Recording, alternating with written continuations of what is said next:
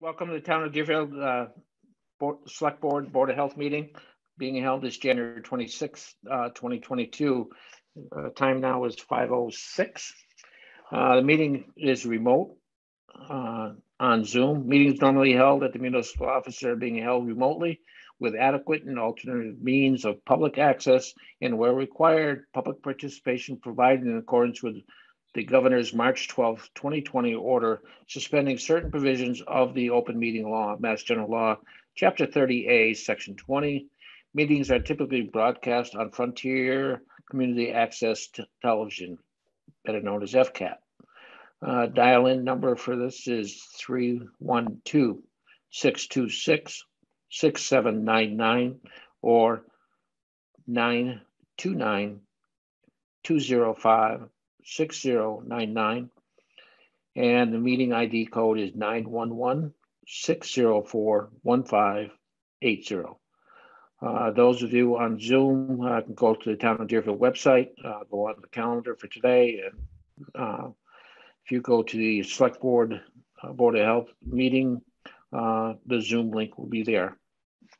So, um, So.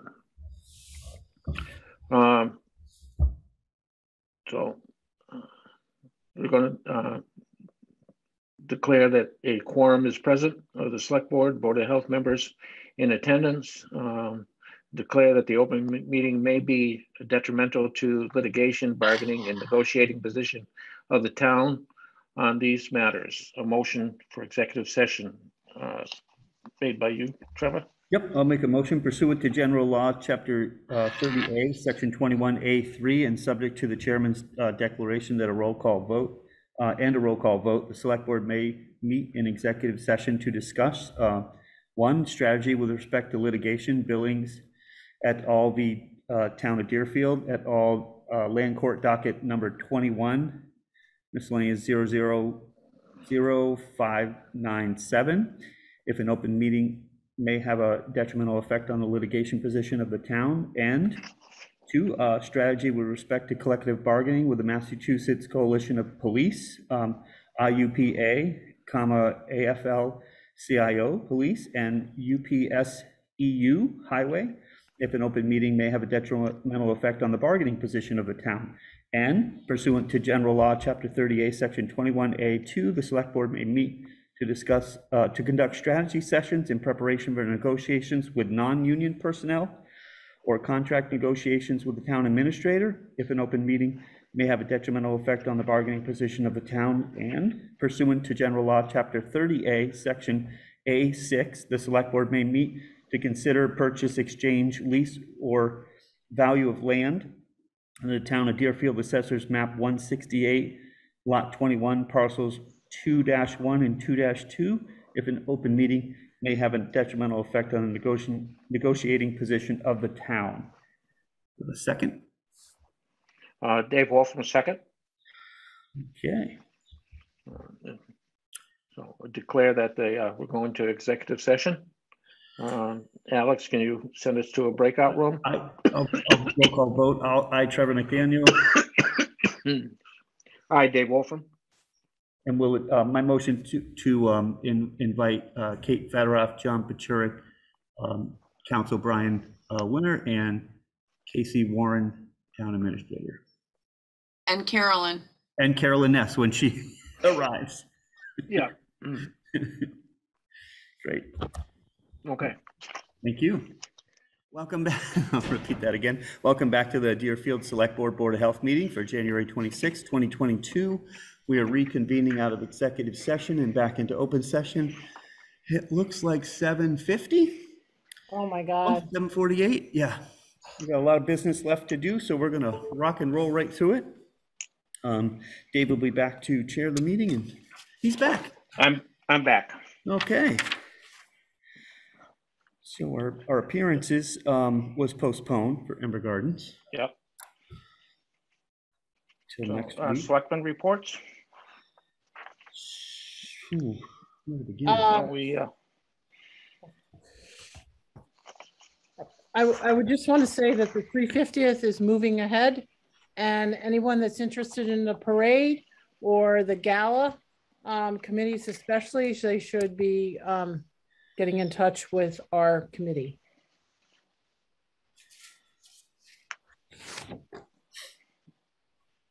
Okay, uh, Trevor, anything? Or you want I- to just try to I- expedite, go right to Yeah. COVID-19 measures? Yeah, that's fine. Yep. We can, we can cruise right into that.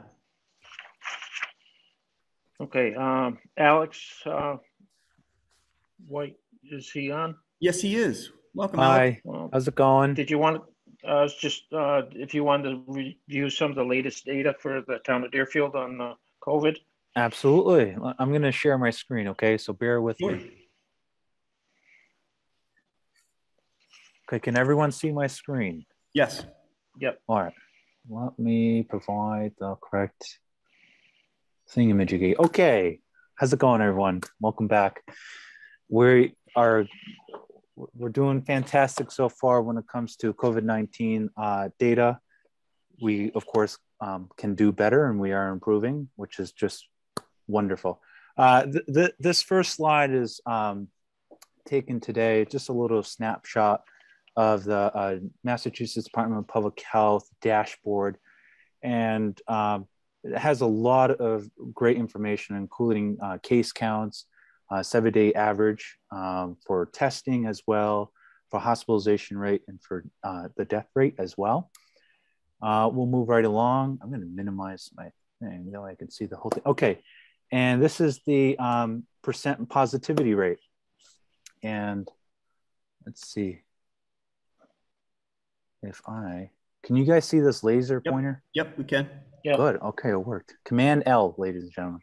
Yeah. And um, so right now, uh, the latest um, number of COVID 19 um, testing data was just published from uh, DPH, and we're at 10.37%, which is uh, uh, Statewide. down statewide, Yep. um, down quite a bit uh, from our peak, which looks like it's about 22 to 23 percent.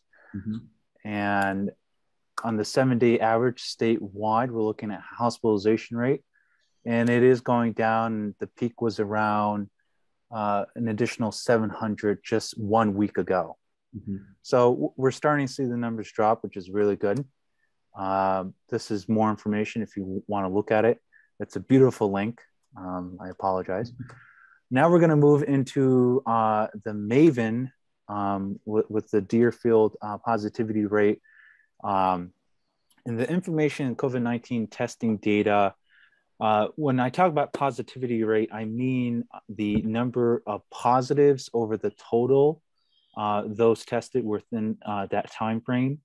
And this could, uh, uh, the way that the state calculates it is uh, the number of total tests. So it could be one uh, individual who gets multiple tested Mhm. uh, tests and you know test positive uh, three times if it's a PCR.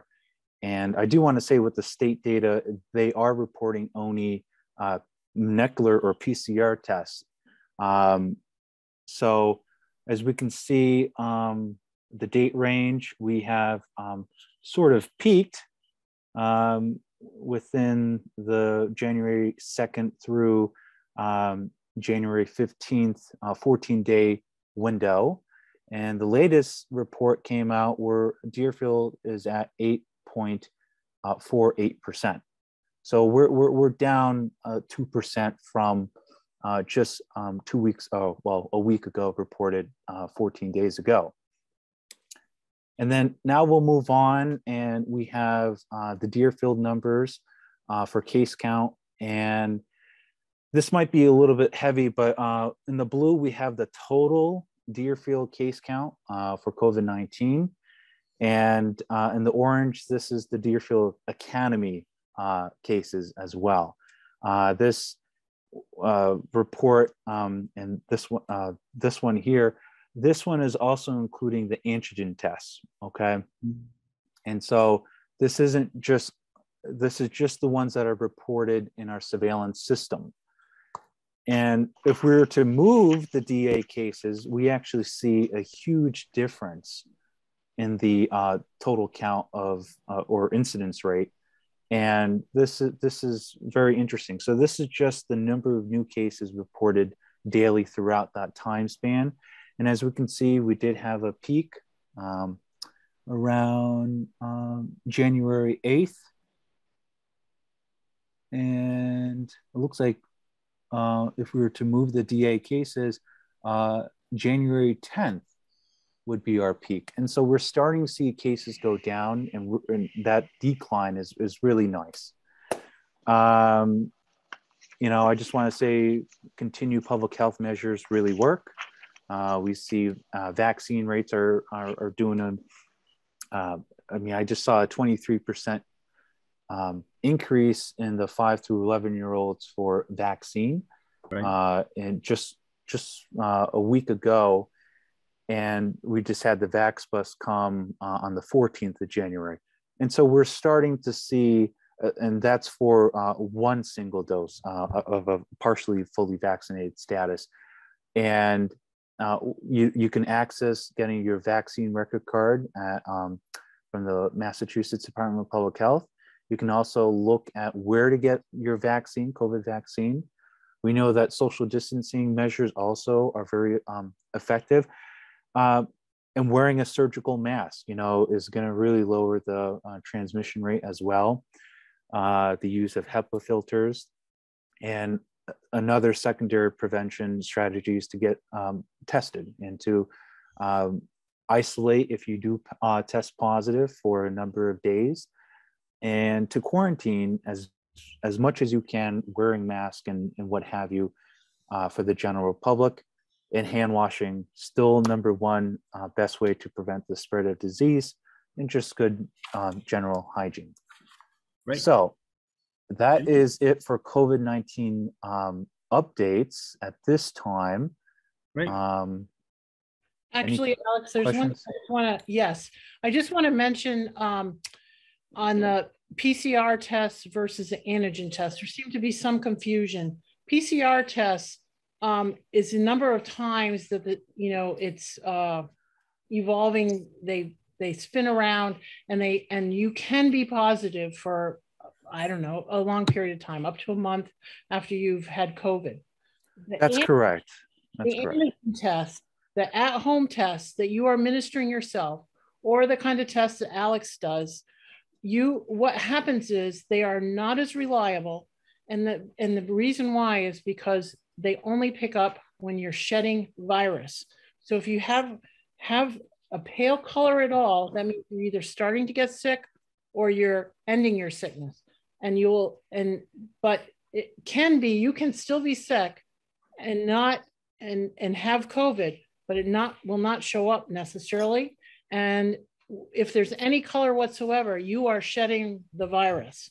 And and it, we need to understand that if this is not, oh, take the test and then you can go out and if you have color in that test, you are shedding virus and you need to stay home and you need to wear a mask for a day or two afterwards as well. Least. Absolutely. So PCR, uh, you mentioned is uh, is correct. It's a polymerase chain reaction. So we're looking at the molecular level of the the presence of the virus shedding in your body, and then we have the antigen, the rapid test, which is looking at the immuno uh, assay at the lateral flow level, which is just looking at the viral low concentration amount that is within the nasal cavity or within the, the throat. And so you can swab it and just to see uh, whether or not it's, um, you do have a, a- a certain level. And if you do have a certain level with the antigen one, that is, that's, and you test positive, that's most likely meaning that you are infectious during that time. So you could, you know, test positive for uh, a- an antigen test and then five days later, you can get retested again with an antigen test, and you can test po- uh, negative or neg or, or positive or negative. On day seven, you could test negative, and that means that you're not infectious. Uh, based on that, I mean, the bi the BinaxNOW the bi the BinaxNOW test uh, is a has a really good sensitivity rate, meaning that it's very accurate when it comes to the true uh, um, positives. Um, and so that that's good. It, it can go ahead and detect that uh, which is really good. PCR is the gold standard, of course. Uh, and if you do have any symptoms, you really do want to go ahead and go for the antigen test. It's more relatively, you know, relatively available uh, if you have that access uh, versus uh, a PCR, uh, where you know it, you you could go ahead and still test positive uh, for 90 days from your um, you know first positive with the PCR test. So j- just a few little um, caveats there. Um, so good point. Yes. All right. Okay, thank you, Alex. Welcome. So, go ahead, Trevor. Well, I was just, uh, while we're, while we're on that, I mean, I, I was just kind of talking about, you know, we, we instituted a mask mandate the other week and said we'd kind of revisit it here. Just based on the number of cases we have right now, it feels a little early to be taking that down and would probably want to keep that and review it again in two weeks. Does that make sense? Yeah. And I think it does. Yeah, it just feels like that at the moment. There's still, you know, some pretty good case counts versus what we normally see. And, um, you know, we'll just, we'll just keep evaluating as we always do and just take a look at it in a couple of weeks. And hopefully we're, you know, those, that trend that Alex is starting to show just kind of keeps dropping off and we can, we can get back to kind of Yep. Hopefully digging our way out of this. Ah, Said that way too many times, but, um, but anyways, it just feels like prudent to kind of keep, keep that rolling for, for the next couple of weeks. Casey, do we need a motion to extend it or? No, you haven't rescinded it. Okay. Okay, very good.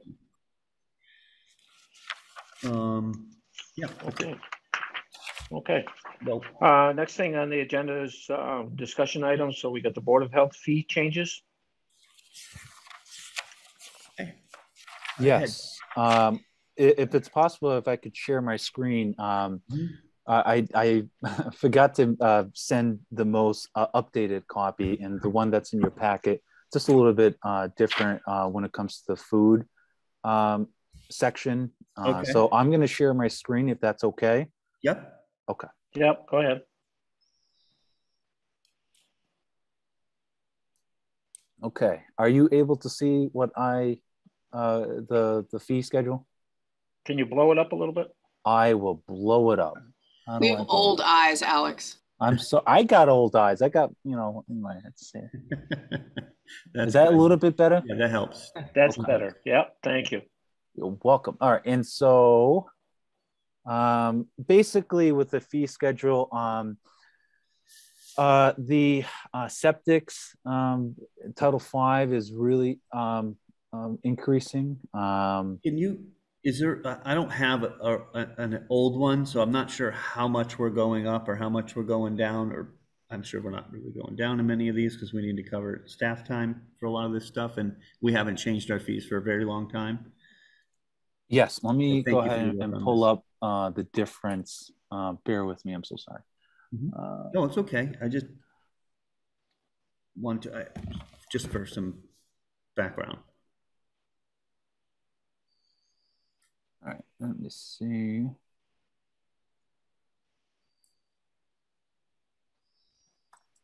Let's see.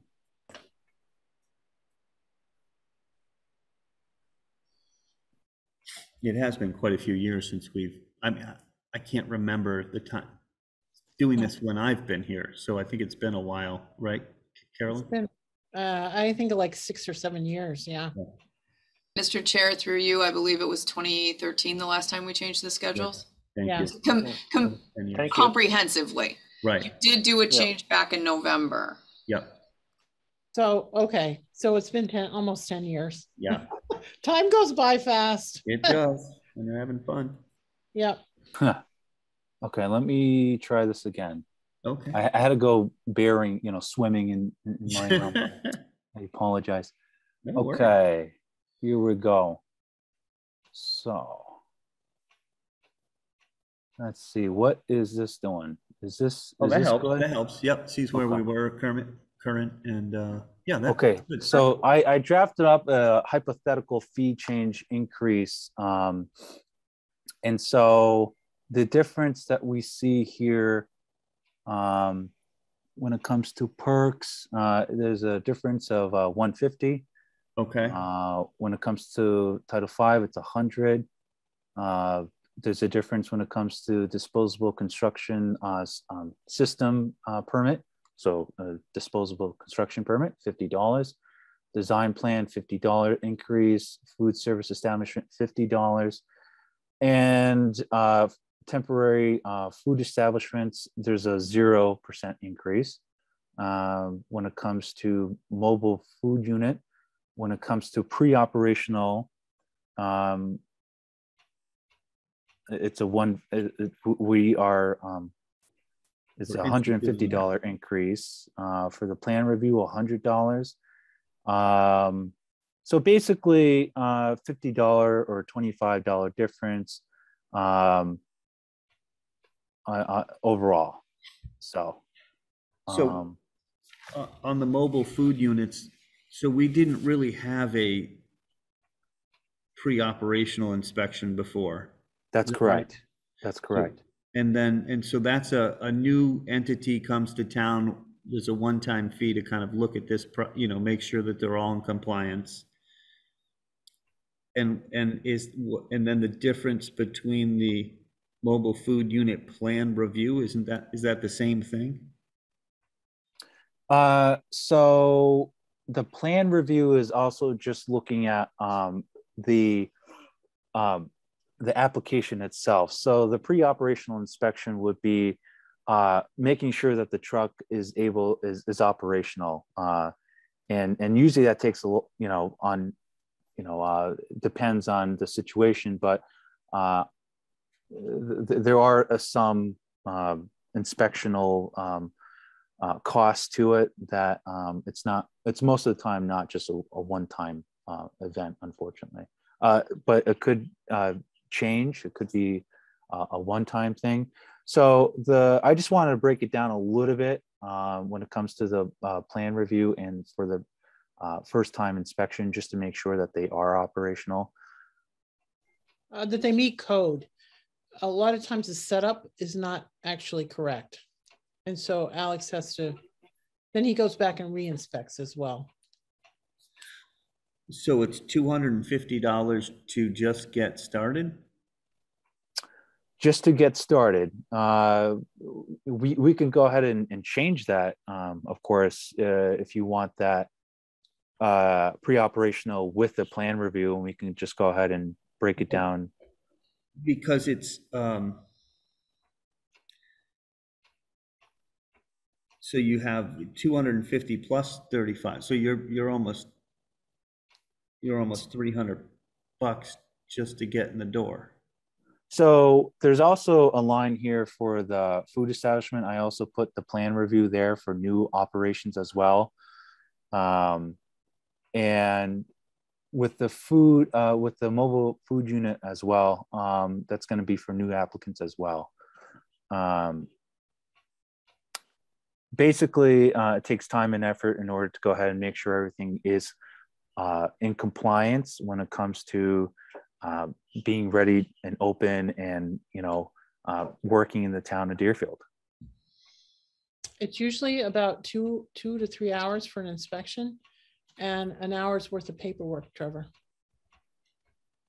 Which includes not just Alex's pay, but also clerical support. You have to, we're, this is to cover his actual, I mean, this is to cover the actual expense to the town. I get it. I, I think my, my, just my concern is that, you know, I, I think I, I talked to Alex a little bit on this too, is that, um, I just want to make sure, like, I, Once, once they've been through the plan and the pre-inspection, they can come into town for thirty-five dollars a time. it, right, This is just basically to make sure that they're up to code. mhm. And, you know, it, it's, I mean, we can have a lower, a lower fee, but then the town is subsidizing it. Well, I just, I just want to make sure, like, if somebody comes in to do an event, like, we're not taking like all the profit. I mean, three hundred bucks to just open up for a one-time event here is a lot, a lot of money. Well, the other night, uh, last, the week before last, um, Friday night, uh, they had a food truck up at Deerfield Academy. Mhm. Normally, we would, Dick and I would just go, you know, because it was seven o'clock at night or seven thirty at night. You know, it was for the kids when they were playing hockey out Yeah. out in the rink. So normally Dick and I would just go, we'd collect our fifty bucks or a hundred, whatever it was before. Yeah, And there would be no charge to the town and the money would just, the check would just go into general fund. mhm, Well, you're, we're paying Alex to do that. Dick and I don't want to do this anymore. right, And so Alex is staying until seven thirty at night to go out and do the inspection. Almost Do- slipping and sliding, you know? Yeah, um, doing the paperwork. And then, you know, so there is a charge, there's hours. He put hours in for, you know, the, you know, Sure. for hours working. So it's up to us. Well, I mean, and, you know, just to be fair, Deerfield Academy was, what was it? Were they paying two thousand or three thousand to the? So uh, So- uh, that's the other thing too. I Uh, mean, we've And done, they sell the food. So Right. people, these food trucks do make money, Trevor. yes, Well, I they just want to make sure that we're not taking like a majority of their profit, be, you know, for, for somebody to come to town. um, well, Absolutely. I was, I was a lot. told, I was told by Dean, um, at, um, Treehouse, it's between five and six thousand dollars, and they get no, they charge nothing, Treehouse charges Right. for that. Mhm, So for, for them to pay us a pre-inspection fee to make sure that they're up to code, because the bet, Yep, I agree with that, yep, the, the most, um, the risk for foodborne illnesses is highest in these Sure. food trucks yep, especially in warm weather. I mean, when it's sub-zero out, you know, the likelihood of foodborne illness is a lot less. But when it's 100 degrees out uh, in the middle of the summer, that's a whole different situation. sure, Trevor, uh, we have to make sure that we're covering the costs of these food trucks yep, because that does seem to be the more um, the, the what's the trend of the business and and it's just they're on weekends and we're going to be paying alex so i- is we as a town do we subsidize that or do we cover our costs So I do want to, I, I do want subsidize to, it. I just want to make sure that we're, we're being fair is all, and that we're covering our costs, but we're not like making it un, unaffordable for somebody to come to town. That's Yeah. all. so I, Okay. just want to say, just, just amongst, um, you know, the Board of Health discussion, that when it comes to uh, the food trucks, I have uh, surveyed uh, a number of food truck operators as well.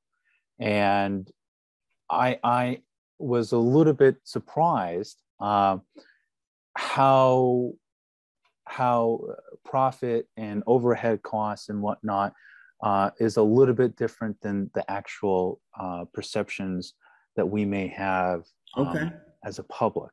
Good. And for me, I do want to be um, just. I, I want to be equitable in that regard. Hmm. It's not just Deerfield that they're operating in. Absolutely, absolutely. Uh, and so, I think it's really important just to make sure that we understand the fact that yes, uh, there is an increase in in the fees, and unfortunately, the work is still being done, if not more work. And so we just need to go ahead and um, ensure that the cost of the inspections and the work going into it as a Board of Health, that we are maintaining that and in, you know, uh, optimizing it as, as such a way that is effective. yep, sounds good. Rocky had his hand up if you're taking public We're not taking any comments. Okay. Public, uh, public comment, I think is at the end of the meeting, right? yeah say rocky if you don't mind just saving it we'd love to hear it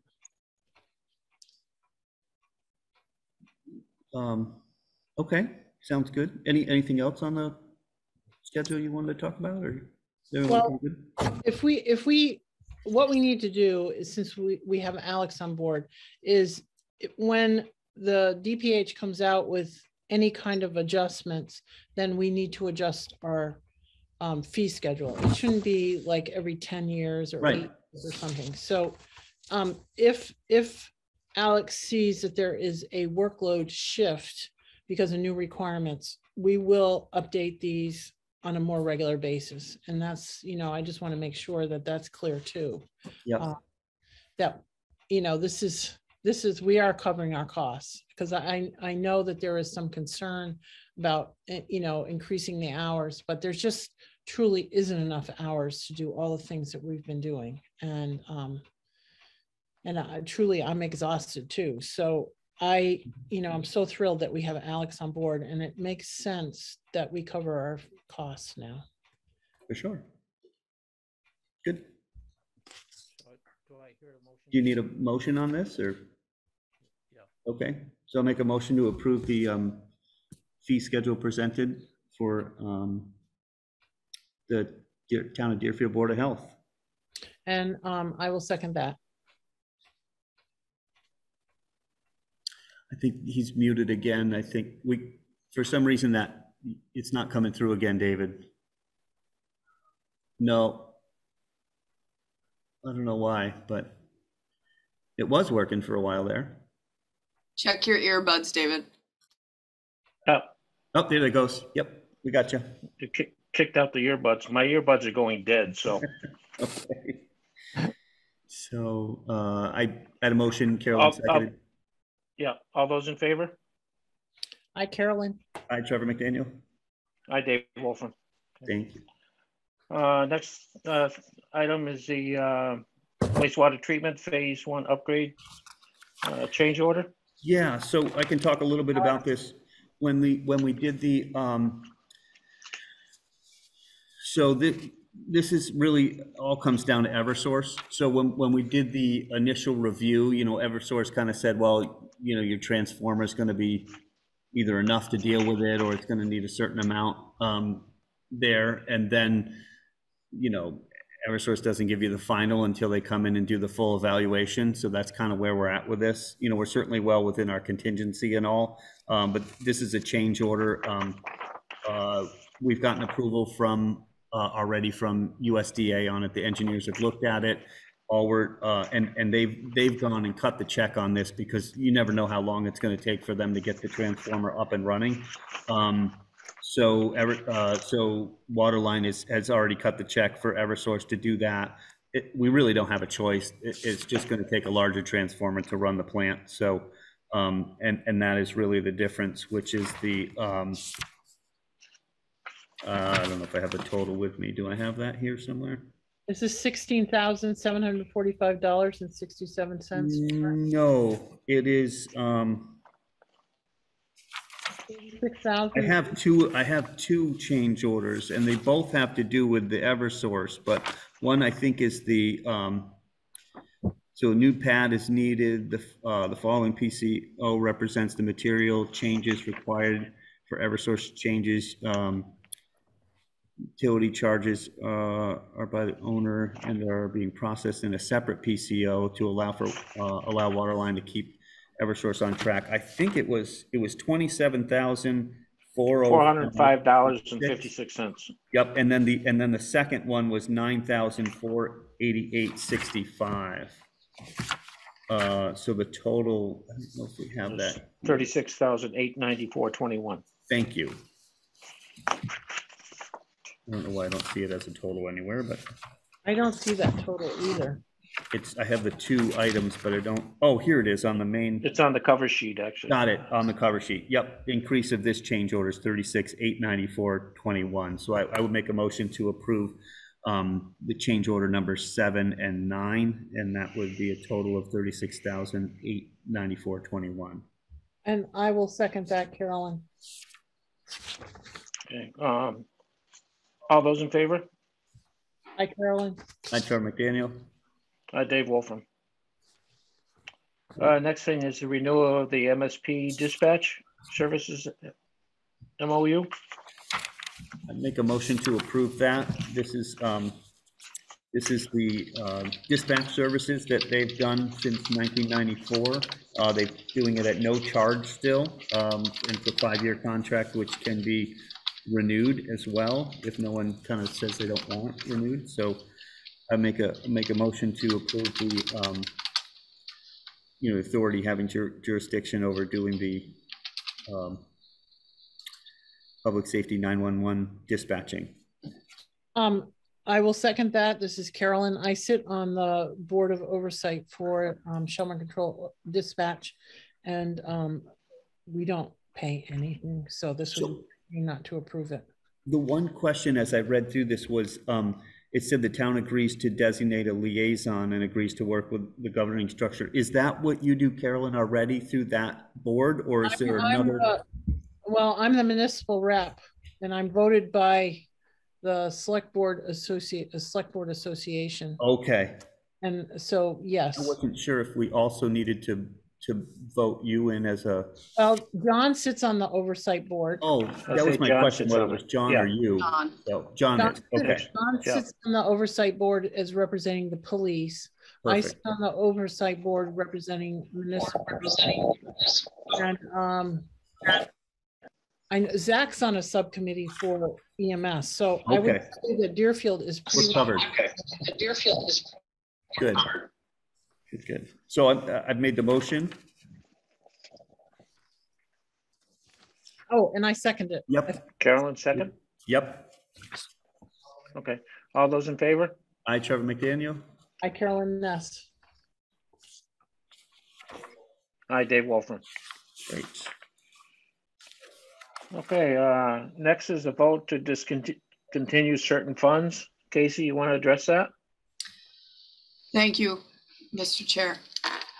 We received, as Ms. Hancock was leaving, we received this request to address certain municipal funds that had been run down to small amounts. For instance, the municipal building fund we use as a funding source for some of the maintenance project projects that we set up in our capital project fund last for the beginning of this fiscal year. It was about fifty-one thousand dollars. So there's there are balances left in these funds, and I gave you Barbara's memo. Mhm. Um, what I would suggest we do, and I did confer with, confer with, with, sorry, sorry. Do you have the other charger? Hold on a sec. She had spoke with, uh, with Brenda about this as well, and, um, I think she's talking about moving the, moving the funds into the general fund and just wiping these out. Really, they're just, you had the municipal building fund, which we ran down to a balance of fifteen hundred twenty-six ninety-eight. Um, and then land, land preservation was inactive. The town used to vote an amount equal to the percent of the APR land balance, but it's down to a thousand dollars. The veterans fund, which is two thousand one forty 693, which was probably moved in. Oh, go ahead, Casey. Now you're back.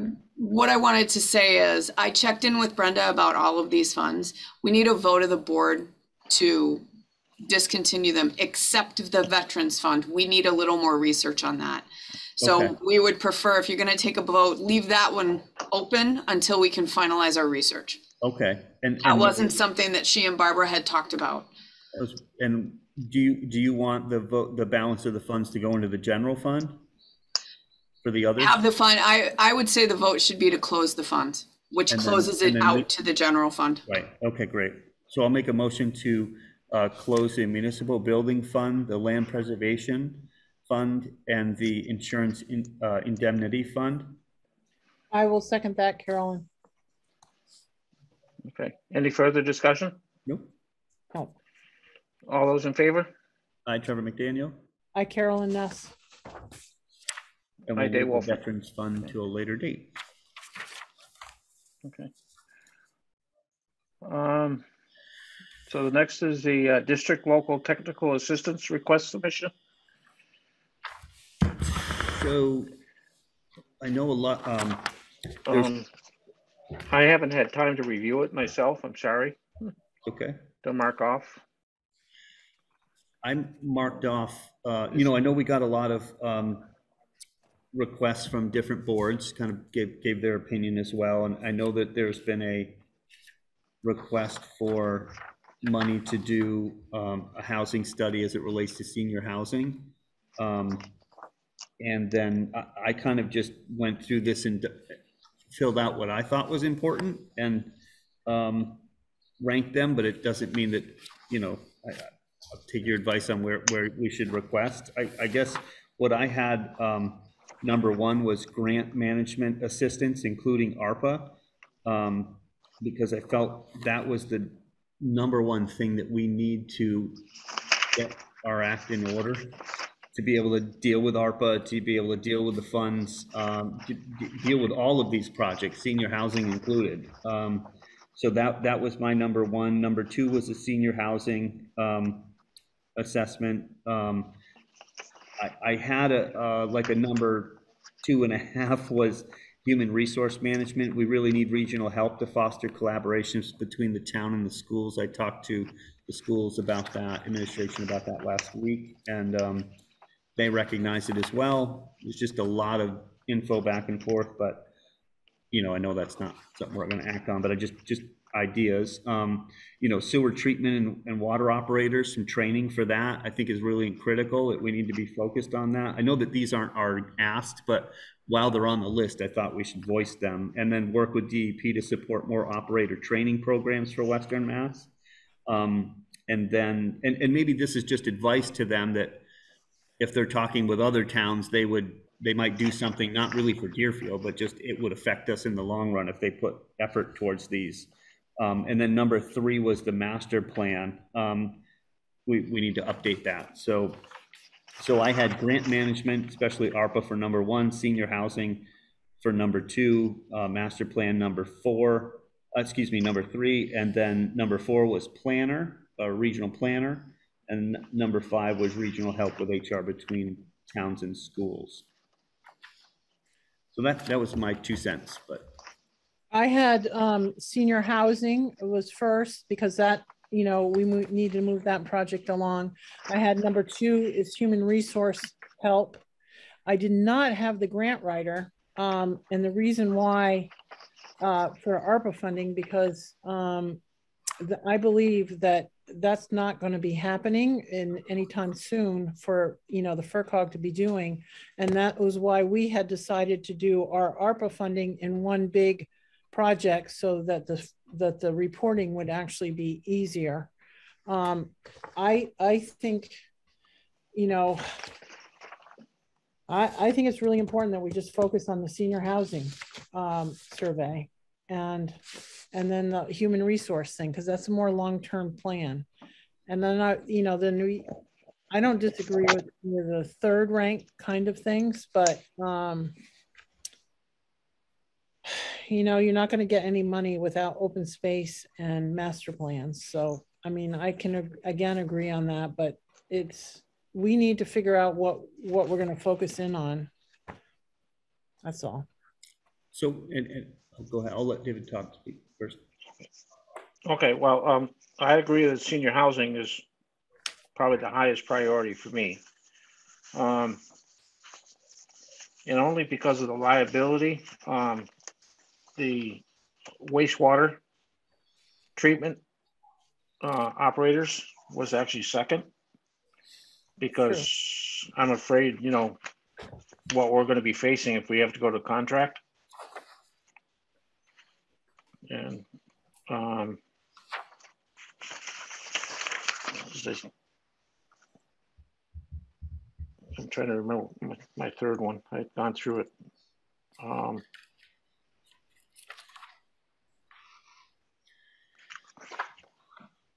Well, so uh, I would agree with the, I, you know, I, I will, I will back you too on the, the senior housing thing. I know that's vital and I know a lot of, lot of departments, you know, committees want that and, um, and, and you obviously both have it as number one, so I would support you in that. Um, that obviously would be our number one pick. Um, you know, I, I guess the number two, you know, I have grant management assistance.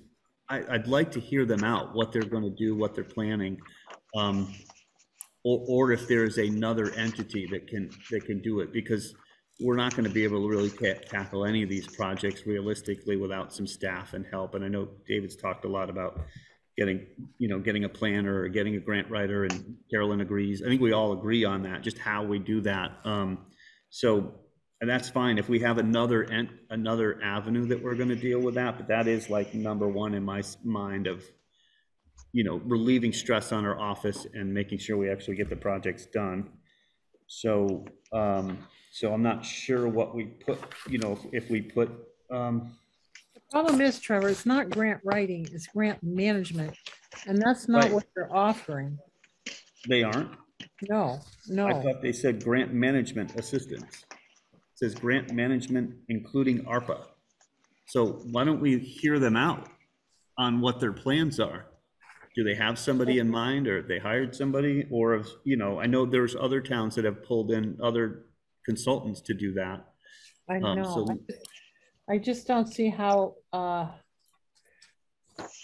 it's not that I don't think the shared services are important, but I think you have to fix your, find your partner. Because problem is you get lumped in with towns that are so different from us. We have a lot of stuff happening here. So we don't fit the profile of a lot of the smaller towns. And I mean, I- I agree with that. Unfortunately, we're not really big either. I mean, I, I would see us looking for shared services for human um, HR.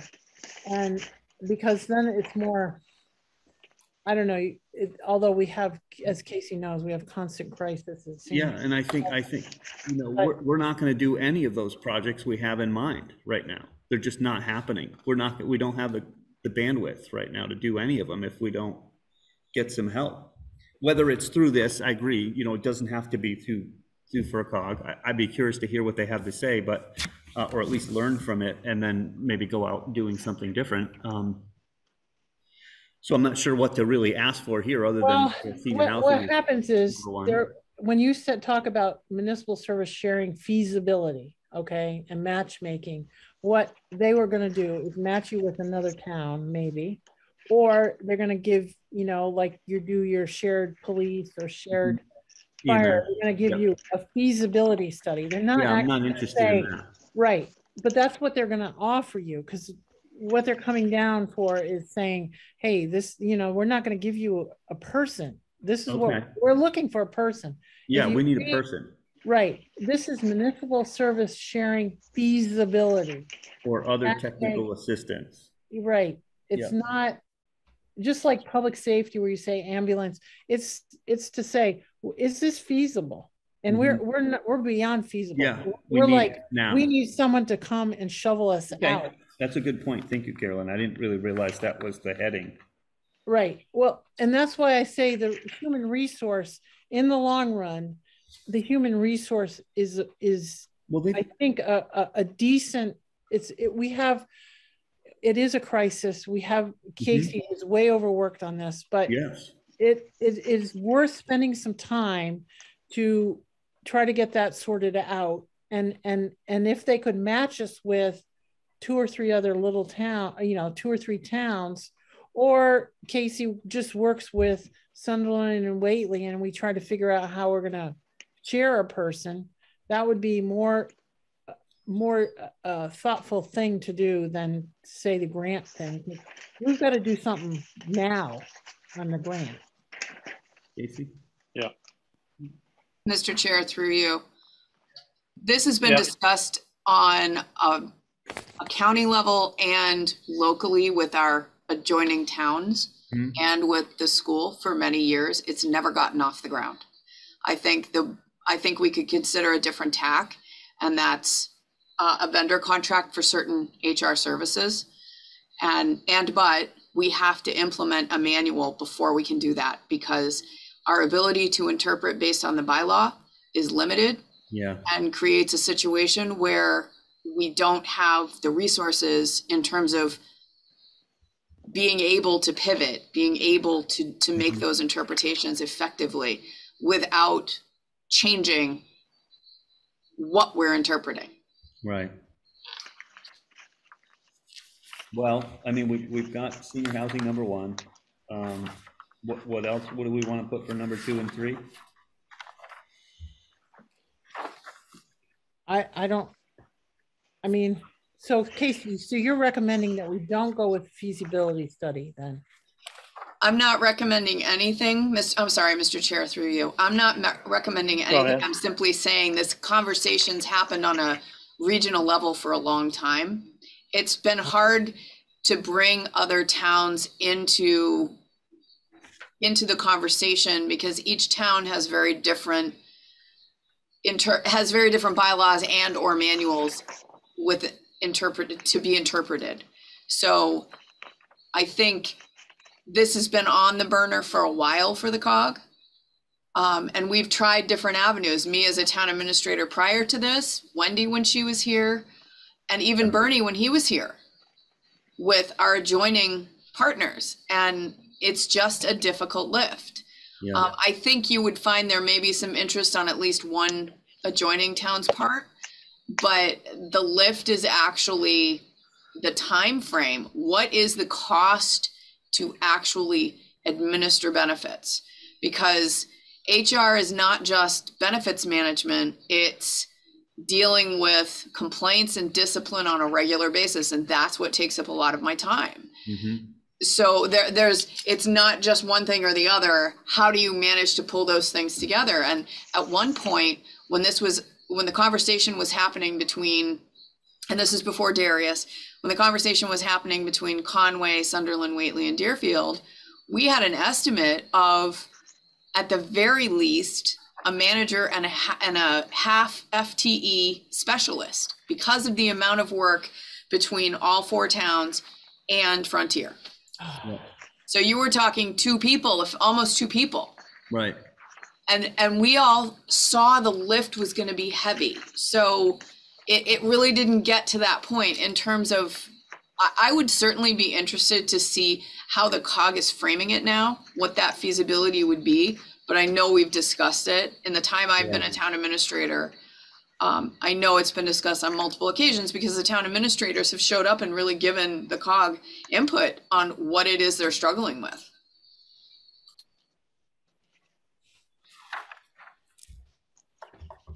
I guess I've been just discouraged filling this out every year. I know.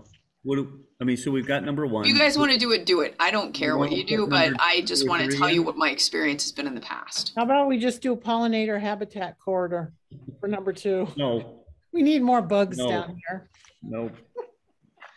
Master plan, Yeah, we I think that's, I, I think, let's put one and two and leave it at that. all right. Um, no, no, because So remember, do- number two, we- I, I agree can- with Dave. I think we need to, to look at the, um, uh, the sewer treatment operator situation. So let's put that down as number two, because Okay, That- that is really crazy, uh, countywide, really, really statewide. And I don't know, uh, I just mean, don't don't think know how to- anything's gonna happen with it, but, Me- but I think it's super important. Yeah, so I agree with Dave that that should be number two. And then, um, then put down the master plans. Okay, because we need that master plan, right? Isn't it expired or getting to be expired? I, I think the master plan's been expired, um, but I think our open space plan, Denise, uh, is our open space plan expired too? I thought It- we put some, Is it? Mr. Chair, through you, yes, it is. They're Okay. working, Open Space and Rec is working on that right now, Carolyn. I thought we put All some. right, money so up why don't you put master plan slash open space plan as our third option? Okay, Because if, if a couple towns are doing open space plan, then they'll pick us. I mean, Yeah. they'll pick, they can throw us in the pot. If, Yep. if a master plan is a lot more work, and they might only pick two master plan towns or three. Just speak. Casey. Casey, just go. Mr. Chair, through you. Yeah. We already are on, D- Yeah. we use DLTA funds this year Right, actually last year to do the OSRP, and then we funded some money through our own, um, the, through that uh, line item. So we already are in the phase, in the, the pipeline for the open space and rec. I think it makes more sense to go for the master plan because we're regurgitating and, and Yeah. redoing the, the OSRP right now. Right. I'm Yeah, but- sorry, I didn't make that clear.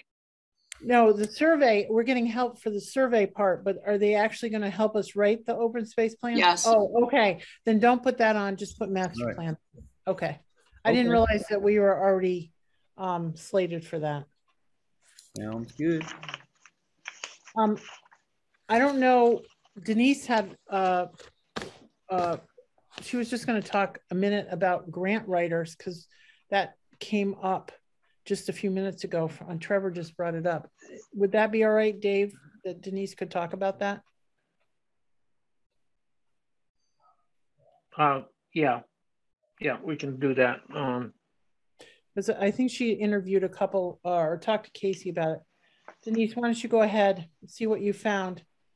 Oh, sure. Okay, so that so this pertains to the um, Community One Stop for Growth grant. Okay, that we're looking for uh, for the for the um, former senior center that will be the municipal building, and you know, hopefully. So yes, so I did. Carolyn had given me the name of one woman. I found two other grant writers uh, one said she'd love to write the grant, but she doesn't want to manage it, and we need someone to manage it because, you know, uh, is tapped out. They shouldn't, wouldn't have the capacity to do that. Um, the other one is just too busy with other grant writing. But the, the third one, and actually it's the one that you recommended, Carolyn, uh, is sounds really good. She has a good, good resume, had a good conversation with her. And so I'm going to do a Zoom with Casey and her on Monday morning at nine o'clock. And um, she's already, I mean, she's already looking at it. You know, the grant, the actual grant, the NOFA is 39 pages. So it's, it's pretty comprehensive. But the first step is to do um, submit an expression of interest. And then you do get some guidance and the um, submission is due March 18th. So the sooner we get that in, the better, because we'll have more time to seek guidance from the e EO, HED, and partner agencies. After that, um, she already knows you've got to watch three webinars first and then do that. And then once submitted, you know, we'll have access to all different staff from different partner agencies. And then um, we can also request a meeting to review uh, the priority projects. And I know that, you know, if we got it in, I think before February 4th, Casey, I think you said we could do five projects, but at this point we can do two. And so I'm just, I'm not really clear. I need clarification. We may only fit into the category of rural and small town grants, and that would be a $400,000 cap that we could get. And the only other ones, I think this has only been out for a year, and I did look and a couple different neighboring communities have gotten grants 25,000, 30,000, 60,000, but Williamstown did get a full $400,000. Uh, Trevor? Well, I, my concern is just, you know, in the MMA conference the other day, you know, you've, you've got the governor, the lieutenant governor, all senators, saying there's like $17 billion coming to the state, right? And you need to get in touch with our one-stop program so you can get some of this money and partner Right. with, the- with the, with the feds. And then, you know, to hear, like, there's $400,000 possibly if we're lucky. Well, th- that that's for this one, and I'm not sure whether that's the only category Right. that we fit into. We've got, they've got to f- open up categories or find a way to, you know, they've got to funnel that money to us. I mean, they just have to. Right. There's got to be programs to, Right. So, and so, I- and maybe um, just flushing this out will help, you know, when they do Yeah. the one-stop, they'll be able to say, hey, Well- you don't fit this, but you fit this, and right, right. That's yeah. That's the idea behind You know one how- stop. Yeah, rem- you know how Trevor, we, we went to that woman and we just stood there in front of her and said, we really need your help. We really need your help. We, you know, we can't be building all these conference rooms and office space and, and not meet the needs of like our seniors. And she agreed. And then we were, you know, had come out, she'd come out with her team to do the, this is sort of the online version of that. right. And so they initially put like small money out there, but I think what happens is this is a feeder. So Mhm. Gotta if we take our ideas to them, Right. we could, we could get some design money, like somebody could design the campus so we know where the damn parking lot's gonna go. And, and, you know, we'll get some money for that, but it would feed us into the clean energy group that would give us the, and, you know, money for, um, you know, uh, thermo pump system or whatever to heat and cool all our buildings in the elementary school. Or it would channel us into, um, you know, the restoration grant for the, the old grammar school. Or it would channel us into the grant program for our senior center, our new senior center that would come off of the old grammar school. So I, I- I think it's the start and, Yeah.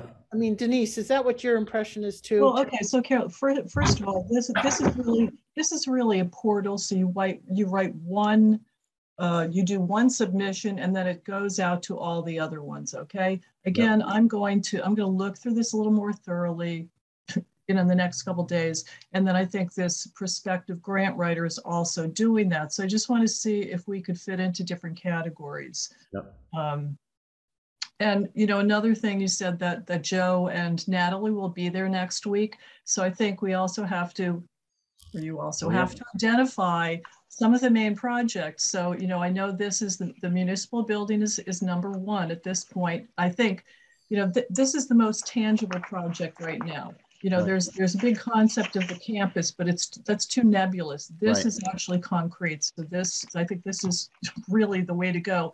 And then also the Leary lot. So if we have two projects, those are the two perfect projects to go in.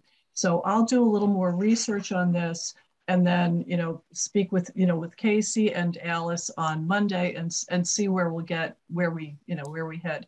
And then um, I'll report back to you. Thank you. You're welcome. Yeah, no, that's fine.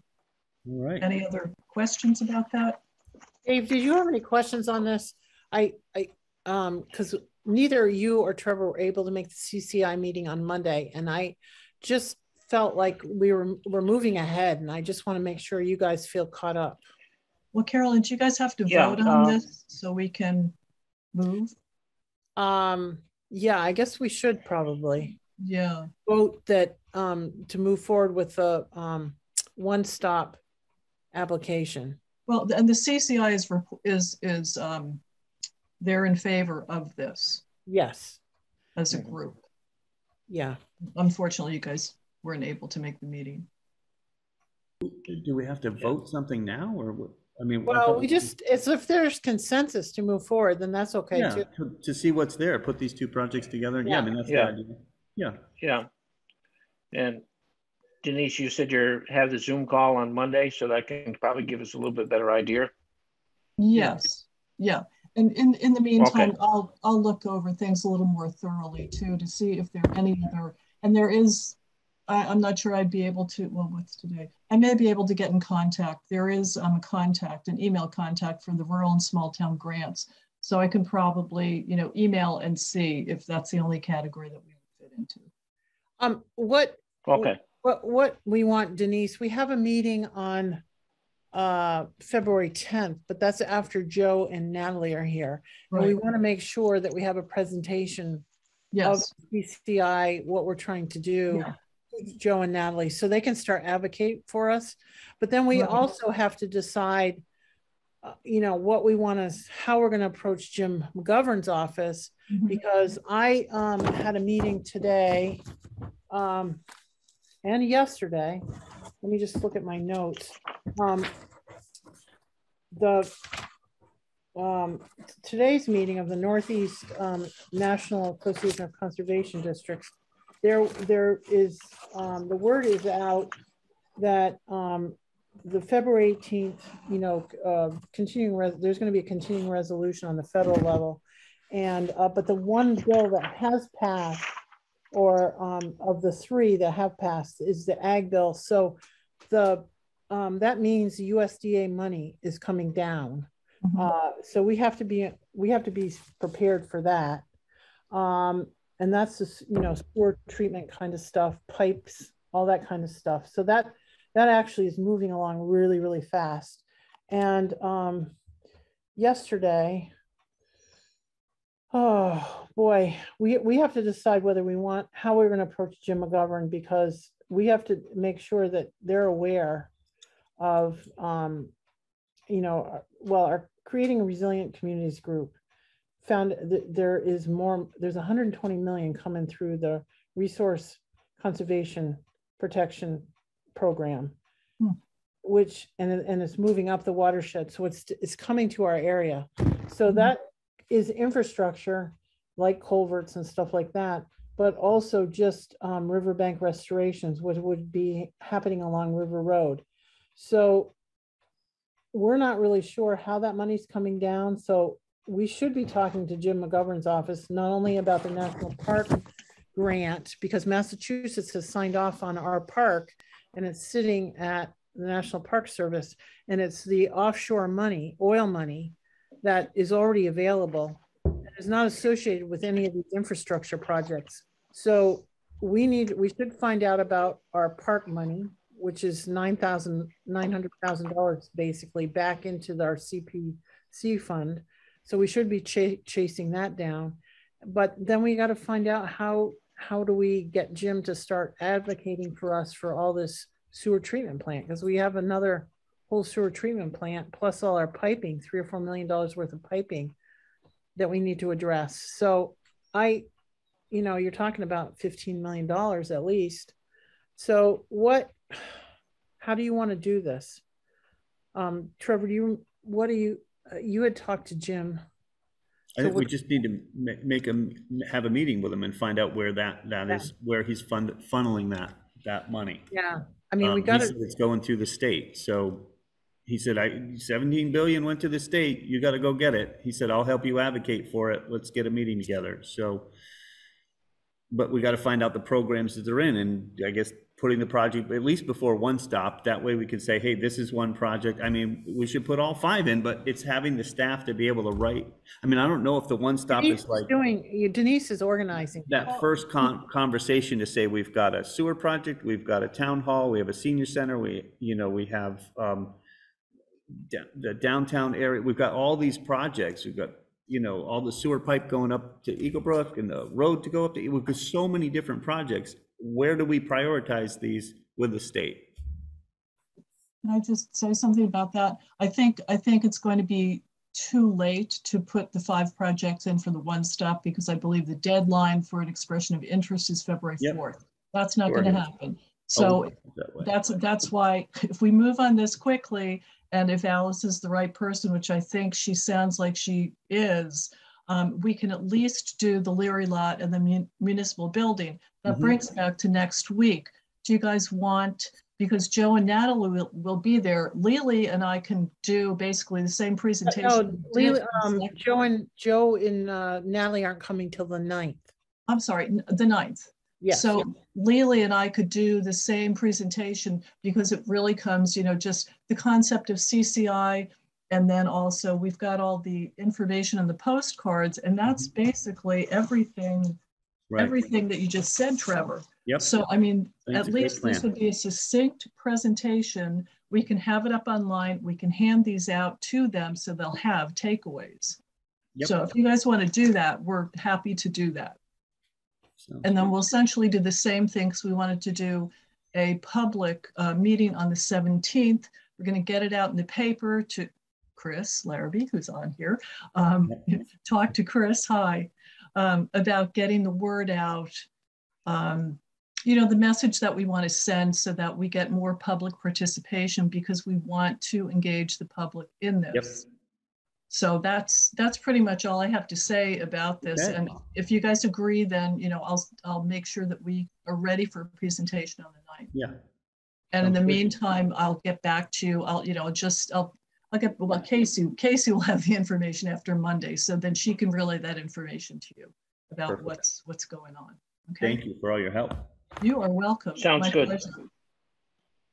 Okay. Anything else? Thank you, not- Denise. We just wanted to make sure you guys were um informed, I mean, in the loop. Mhm. Yep, Okay. yep. Okay, Thank All you. right. you are welcome. Night. Good night.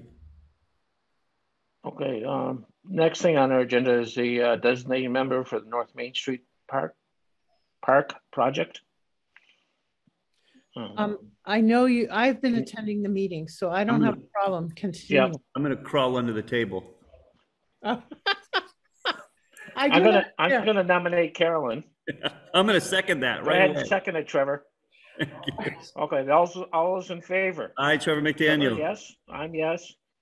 Okay. Okay, majority rules. Sounds Carolyn, good. you're it. Moving on. Okay, but Next subject. is, when we have, when we have decisions to make, I, I want us to have the, a public meeting because Of I course. I just want to say that, you know, it really makes a difference to have the three of us be putting our ideas out because we end up, you know, talking about it and, and, and the best decision comes out of all three of us agreeing in the end For sure. what, what we want happening. I, I'm just, I'm just worried with this open meeting law that, um, we're Let's not, Post them all. we- yeah, let's just figure out what meetings we're at all interested in and then we post them because, you know, it really makes a difference to have all three of us participating if we can. And Mhm. I know it's a lot of work, but I- I just feel we're always better together. And I know Casey is rolling her eyes, but She's we- ready to jump out of the door. I know. we Actually, have a headache. know,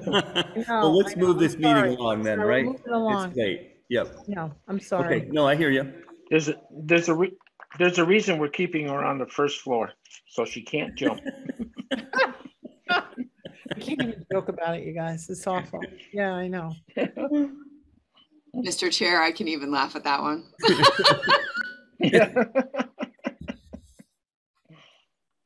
Desi, did you, Okay, patience? uh, next thing is the digitalization of the uh, historic documents. Great. Have at it. Peter Thomas is requesting that we do that. Um, It- I Suppose we've got to put something together to take a look at that and see what the cost would be. Go ahead, Trevor. Oh, Casey's first. Yep. So I have an update on that, Mr. Chair. Um, Yep. I was contacted after that email, I was contacted by FEMA and then the Secretary of State's office. So I've had a conversation. Um, the FEMA rep that actually called me as part of a larger group that works with the Secretary of State's office on preservation of records. And those records, we have to do some investigation. So I think I have some of the information we need. But if they're permanent records, there's certain things we're gonna have to do. It, it may not be digitization, it may be simple preservation, but we don't have enough information to even put an ask together. Right. Um, we might be able to make, meet a, a deadline for CPC, but we don't know what we're looking at yet. So the first thing we have to do, and I actually got some help with this today. I talked to Chris Miller and asked him to go down and look at the vault and see what it looked like because I didn't have any idea what it looked like. Um, we did, as everybody knows, we had a radiator leak in the building last month. So we've been working with the insurance company to dry the spaces out. And so Chris went downstairs. It's pretty cold right now. Chris went downstairs and he looked at the at the vault. I'm going to confer with him tomorrow, but some of the representative from the Secretary of State's offices um, recommendations involve moving the records, keeping them in some sort of cold storage, and evaluating whether they're permanent records or records under our custody. So there's a lot of moving parts with this, and it landed literally with no warning, landed on my desk yesterday So in terms of now having to move and get something done. So I will talk to Chris tomorrow and we're going to figure out what we have to do. But regardless, if these are permanent records, the Secretary of State's office can come in and order us to do things. Right now, we don't have money set aside for this, so I can't really tell you what it's going to cost. And it may be that it's going to cost us even to get an estimate on what preservation would look like. It may not even be an issue at the moment, right? Because is there? Records have been there for 30 years. No, years. let's, The leak. the We leak need an went down- evaluation of that. I know, but the leak went down into the, the ground, you know, it was dirt floor. right, This is in in the the vault. vault section. And, you know, we've had the identifier running for years. I'm sure there is mold, but it's mold that's been there for 30 years. It's not, this is not from the leak. This was, a this was not a water main leak. This was a radiator leak in the kitchen area. And that is totally different from where the vault is. So I, I, this got convoluted somehow. Yeah. Um, We'll just, I'm sure there's, I'm sure there is, we need to do something, but Sure. it's not an emergency situation from this radiator leak. This is something we should have done 30 years ago. They never should have been put into a damp basement to begin mm. with. So we don't have any space. Bingo. oh, I know, I know, but that, this was a decision from 30 years ago. That's Yeah. all. And it, and it's unfortunate that it is old records. They're from the records from the eighteen hundreds. Yeah, we want to keep them, preserve them. And we do want to keep them. So Sure. we got to figure out what to do.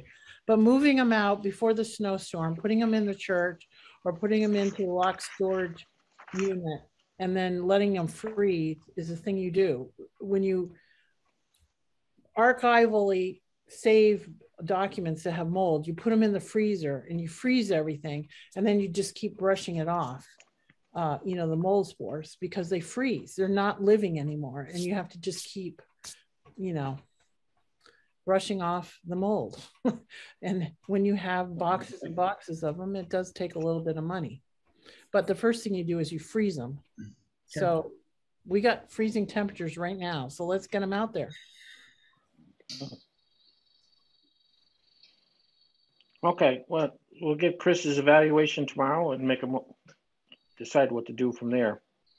Okay. I, Mr. Um, Chair, I do have to say that whatever we do, we're gonna have, now that the Secretary of State is involved, we're gonna have to coordinate with the Secretary of State's office. Maybe, maybe they're thinking it's more overblown than it really needs to be. Maybe we Yeah. tell them what it is and they realize, oh, this isn't like the whole basement flooded and we have this emergency thing. This, until they see pictures, they Right. won't be able to give us some idea. Okay, all right. Yeah. Okay. Okay, the next thing is uh, prospective MVP grants. Carolyn, any Oh, ideas on this? Well, Chris has got the list. Has anybody, um, have you looked at them all, anybody? I, I honestly don't I've see how we can tackle any MVP grant at the moment.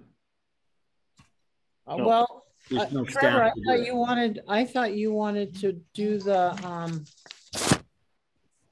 oh, I thought you wanted to do the tank heights and stuff. We like already that. have that written and done from DPC.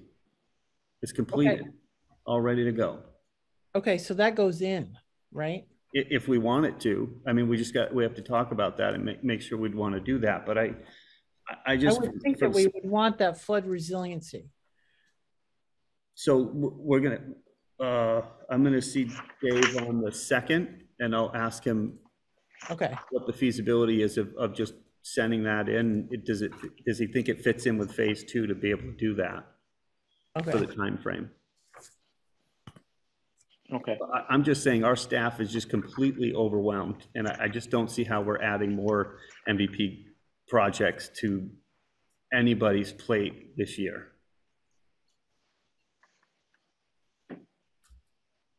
I agree with Trevor on that. Well, I know we're, It's just too much. I mean, we, we're burning everybody out with it. It's just, it, they're great programs, it's great to do, but, I mean, uh, it, it, it's just an upheaval that we just, we have so many projects going on already. How can we even think about taking on any more? okay. Again, there's more money in this program I now. believe it. So, Unless there's somebody to actually implement all of it, we don't have to touch anything. Nothing, like, well, I think we should be looking at the flood resiliency for our sewer treatment plants because that's going to take money off projects that we're going to do already. Okay. Um, then I think, um, let's get, let's see what happens with Denise and, um, and Casey's meeting with Alice Rich, all right? as a Okay. grant writer And, um, grant manager, all right? okay, And see what that Okay. capacity does. So, uh,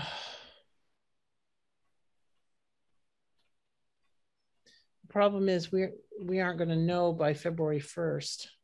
we, we should bypass this, Carolyn. We're, bur- we're burning everybody out. Just, All right. there's just too much to do, and there's just not enough people to do it. Well, except for the, let's, the, the timing is correct for the, for the tank heights, you know, the flood resiliency. Yeah, if, if it fits in with that phase two, and yeah, we can get some money on that for sure. Yeah, I mean, that's just, we're already got the match, Trevor. We're doing the plan. So Yep. by doing that, we're cutting the taxpayer bill by Sure. four hundred thousand or whatever the you know, tanks are gonna be. That makes sense. Um, you know, that just reduces the cost, you know, our borrowing costs and taxpayer cost. So I guess, Chris, that would be it. Chris, Chris, go ahead. Okay, um, th- thanks. Um, I was hoping I might get a chance to present some of this material to you. Um, I, I will say that the, the list that hopefully you've seen, um, that has seven items on it was put together by your, um, Green Infrastructure Committee that you, um, appointed. And there are a number of things on here that might be good tie-ins with projects that you are, um, moving forward with. For example, the Leary lot. Um, my understanding is that you're planning to move forward with that, and this might be a way to offset some of the costs um, for landscaping and um, you know uh, stormwater improvements to the Leary lot project um, and reduce some costs there. The other one that I guess I would mention specifically is that um, number two on the list is the green entryway for the Deerfield Elementary School. I did um, have a meeting with um, Superintendent um, Modestow on this, and he indicated that this was um, a priority for, for him, um, and it, it's on their list of um, capital improvement projects for for Frontier. Um, so he's interested in, in pursuing that project um, specifically. Um, you know, the other ones I could go through, but it doesn't sound like there's a lot of interest in hearing about them, so I'll, I'll pass on that. I think they're all valuable, Chris. I just, we are like up to here and we can't even focus because there's so much going on. Just to try and take something else on right now will just, it- it's just like the straw that breaks the camel's back. There's just way, like, we haven't even really recovered from tree boxes and all the other stuff. And I, and I, and we've got, I, I do see how they would tie into these things, but just to, you know, the money we get for the amount of effort and stress that's, on- that, that puts everybody under, I just, I, I feel like we need to take a year and take a breath and go, okay, what's priority number one? Let's focus on this. Let's get these things done and come back to MVP when we can handle it. The only thing is, are we move, we're moving forward on the Leary lot, right?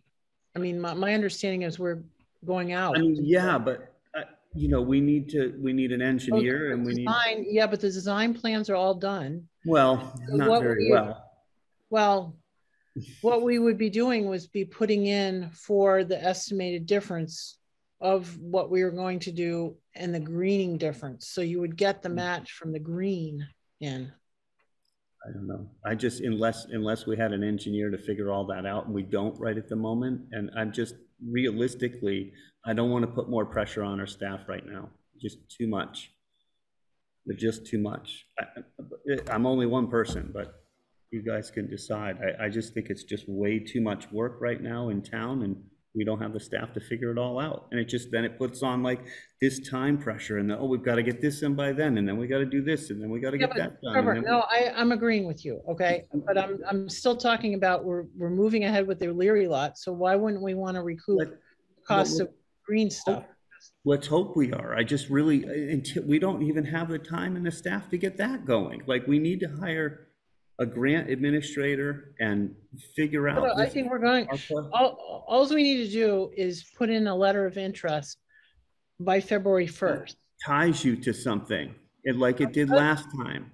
No, this is a letter of interest. This is not the actual submittal. This is just saying that we're, this is what we're thinking of doing. And I, I, again, this is cutting costs that we're gonna incur anyway. But I mean, if we're moving ahead with the Leary lot, we want to make it as green as possible, so we could get that green difference back, that But sometimes you spend so much more on that green difference that it isn't worth doing. Like you spend all that staff time and all these people running around, and then you're spending a whole lot more money for the infrastructure, and then you're like, is, is it worth the squeeze? I'm just really nervous about that. I've just seen what has happened, and it's just really, it's overwhelming, and we can't do that again. Uh, Casey, do you want to say anything? Yeah. I'm- I just, I'm, I'm trying to protect everyone's sanity here. I, I know, I know, but these are things that we're gonna do anyway, though. Well, are we? I mean, really, it's like, until we get, we, we need to hire staff in the office, we need the, the staff at the, I mean, there's so many other things that are going on at the moment. It, it just, I worry that we're not gonna be able to, um, I, I just, I'm just extremely worried about the bandwidth here. Oh, I know, it's Yeah. worth, Very, very worried about it. The, uh, yeah, the, uh, yeah, until we get the right people in the right place. These grants are not manageable for the town of Deerfield right at the moment. Because we don't have the staff to manage them. Uh, Chris, what, a lot different writing, writing it and then administering it. And the administration of it is something that's taken our office way too much time and taken away from other things. So, what, um, when's the you know. I don't have a problem saying that, uh, putting in a letter of interest on these, but we're not gonna move forward on any of them in the near future. Unless we have the right people in place to administer it. And the selectman's office right now is not the place to have that done. Well, I mean, I see Select that, board's I think office. the Leary lot is part of the CCI, and so hopefully we will be hiring staff to handle this. I mean, because we're, my understanding was we were going out to bid this spring for the Leary lot. There, there's a lot of work to do before we do that. We, we, there's no way we could go out to bid in the spring on that. We haven't even confirmed an engineering group on it yet, have you, Trevor? I mean, I, I was hoping Berkshire Design Berkshire Design, pick it up and start working with it. I Yeah. know that the, you know, the Hamshaw lumber guys are really want to hire an engineer and get working on their thing. And I know you talked with um, BBC about, about that as well, but there's a lot of coordination just around that alone. And then to drop on the whole MVP thing that we have to tie into all of it is just, it's just more work than it's worth at the moment, I think. I- I- could be wrong, but I mean, until we get there, by the time the thing gets bid, or I- there'll be another cycle, I'm sure. I, I just gotta, I gotta protect the staff and the time, and I, that's my vote, but I, you know, again, it's up to you guys. or- Well, I, I want to put a letter of interest in. And then if we don't fill the application out, we don't fill the application out. But I would like to fill, fill, put a letter of interest in for the Leary lot and the flood resiliency of our sewer treatment plants, because those are two projects that I feel that we're moving forward on. And all this does is decrease, it, you know, what the taxpayers are gonna have to pay, what people, what we are gonna have to pay for the project. But if we fit our timeline, then we don't put the appli- actual application in. If DPC says, I mean, there, there, you have the design ready, Trevor. You said that DPC, we asked them to have that ready. Mhm. So. Yeah, we had them pull it last time, yep, And so. but it would eat up everything, it wouldn't, we wouldn't be getting, you know, it'd be just one thing. I, I think that was the issue last time, Chris was like, why are you putting this in? I've got it all laid out, and there's just not enough money, and, and so we pulled it. Yeah, but what, that's what I'm saying is they will give us the feedback. There is more money. That seventeen billion dollars is coming into the state. Some of it is going to the MVP. So there is more money. Do they pay for people to administer grants with it? That's really what we need, is somebody to do the work. And we don't have that. I don't know. I just, okay, so, actually, um, I don't have a problem putting in a letter of interest on, um, both the things, the Leary lot and on one and five. Uh, but I also want to make sure that we are not going to make out an application for these grants until we have the right personnel in place. If we don't have the right personnel in place, we are not going to apply for these grants. I would agree with that. We can't afford to have Casey do any more work. Yeah. Well, on this, What? I said, well, on this, she'll be doing a lot of work, but Yeah. But, you know, just a letter of interest. Um, who's gonna write out the letter of interest? Chris would. Chris? Um, I can do the letter of interest for you if you'd like. Well, I- I'm just asking, I don't know who's supposed to be doing the letter of interest. You know, if this is putting, the letter of interest is putting more work on the select board office, that's a problem for us. Will be a no. Well, again, I'm happy to do it for you. Okay, All right. So we're all set with the Leary lot and the flood resiliency project on the sewer treatment plant. Great. Uh, Casey's had her hand up four times. Casey, just talk. We don't have time for you to. raise No, I, I need to respect the chair's control of the meeting, Carolyn, um, because it's been brought to my. I can't attention. see your hand when it's up, Case. Yeah, we don't have time for this. Come on. So, no, my question is, isn't, wouldn't DPC handle a letter of interest for the wastewater Yes. treatment plant project? Yes. So you're essentially putting two letters of interest in. Is that a conflict?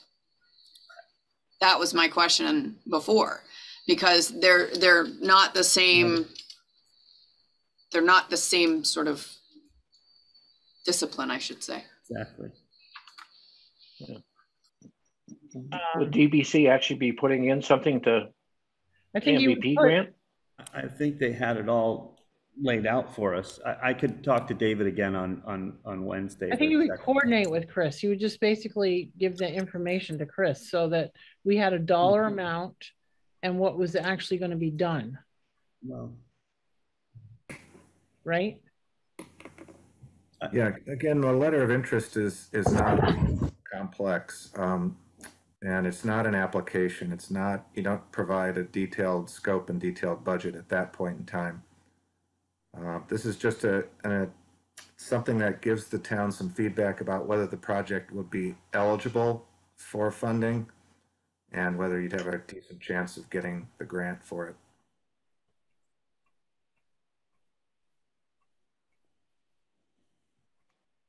Okay, And we would, and the, the MVP program already paid for the design, the green design of the Leary lot. And so Chris would just break out the cost of like permeable pavers, you know, things that are green versus just, you know, paving it over traditionally.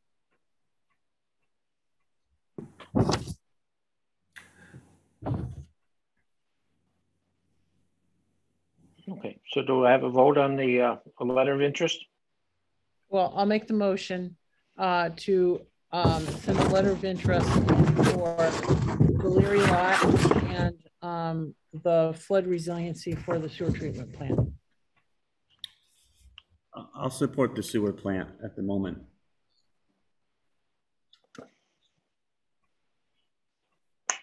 I'll second it.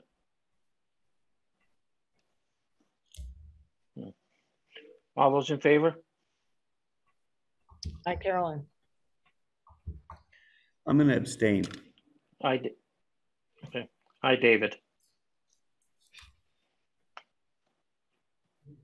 And here again, I just want to make it perfectly clear, this is just for letter of interest. This is not an application That is correct. until we have somebody that we- we have hired to do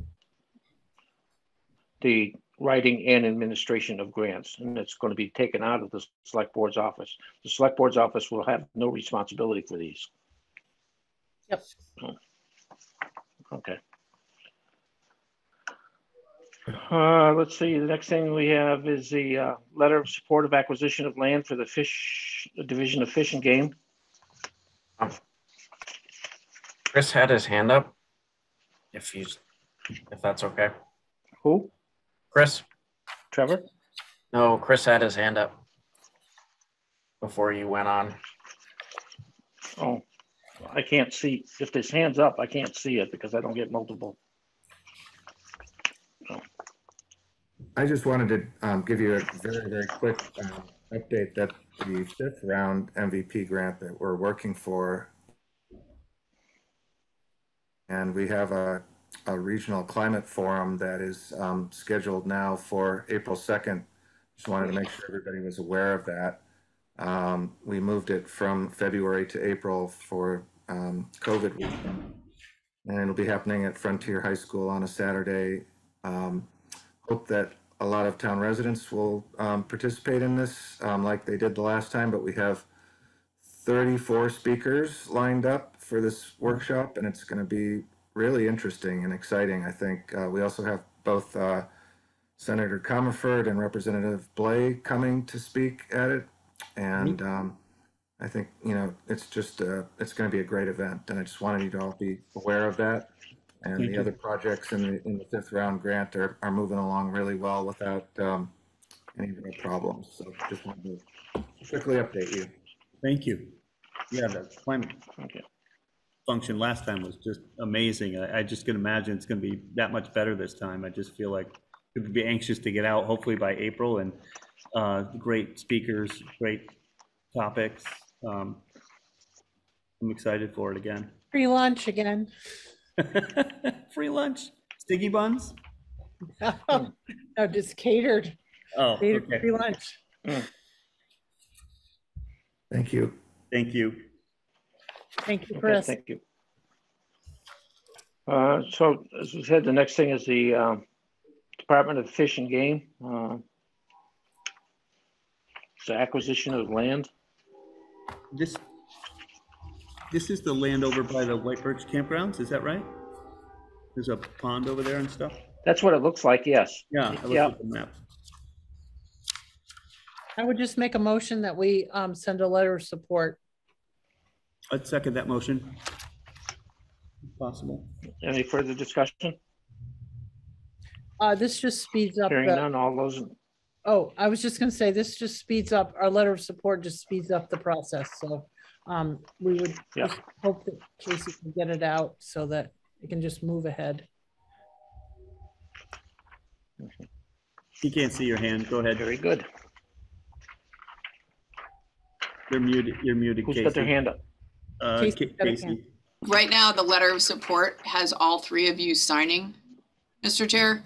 Do Yep. you want to change that to have one member of the board represent, or do you all three want to sign it? Um, Can you just have um, the chair sign or just use our stamps? I don't- Yeah, either one is fine with me. Sure. Thank you. Thank you. Yeah. Yeah, if you just have the papers for me to sign after the meeting, I'll come in there and sign them, Casey. Thank you. Okay. I'll find the agenda. Um, Oh, we gotta vote on it. I vote yes. Oh, oh, sorry about that. Trevor, yeah, Yes. I, I, Trevor McDaniel. Dave? I, Dave Wolfram, so Thank you. three zero zero. Uh, next few things are placeholders. Um, I know, uh, we've got some of the things for the, uh, the, the budget in our packets to review. Um, I don't think we're gonna review them tonight. Uh, Brenda said she needed them by Friday. So, Oh, but I don't see Board of Health What? in here. Yeah, No. Brenda needed them by Friday. I think we Did you guys could, any Mr. Chair. I have a suggestion. Turn them in as drafts Okay, and let people know they could change. yeah, Okay, but I Okay. I don't see Board of Health in here. I, You have to ask Alex about that. Going on? Where's the Board of Health budget? You're late. No, I sent it in. Uh, Where Brenda and? I had a discussion and everything like that, uh, probably two or three weeks ago. With the board uh, here? just make sure that, I don't see it. The Hmm. Board of Health hasn't seen it, Alex. No, we have not seen it. Oh, Board of How Health hasn't come? seen it. well, you guys should. Because you gave it to Because Brenda, not to to Br- us. Yeah, no, we need, we need to look at it. Oh, okay. yeah, Let's it look has at to, it. it has to come to the select. Do you board's guys want to go ahead and um, take a look at it um, next You could week? I just- mean, uh, tomorrow or something? Yeah, just e- email it to us and we'll, I'll start looking at it and, Okay. uh, Consider it done. I hate that these have been so rushed and not really rushed. It's just my fault. There's so much going on right now, but, um, it's, it's been haphazard and I feel like we really need to take a meeting to go over just budgets. Yeah. Um, Yeah. We, we need Well, to we get- normally Yeah. do. We Yeah, normally, I know. and we just, we We haven't. missed out on Boston and, um,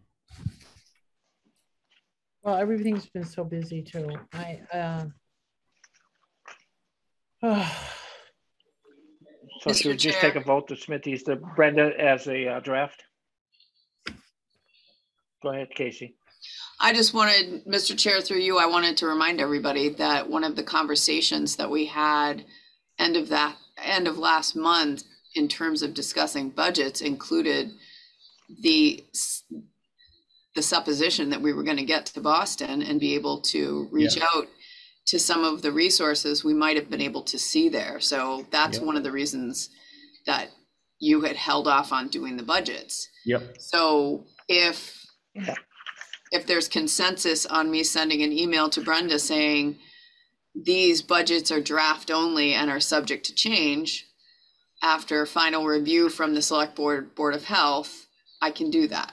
how do you feel about contracted services? I mean, that's that's our largest budget. So do you feel like you have some more work to do on that? I think there's a little we could do. Um, and I, so what everybody should know, let me back up a moment. I am training Jennifer how to do these and Yeah. she's been working closely with Brenda.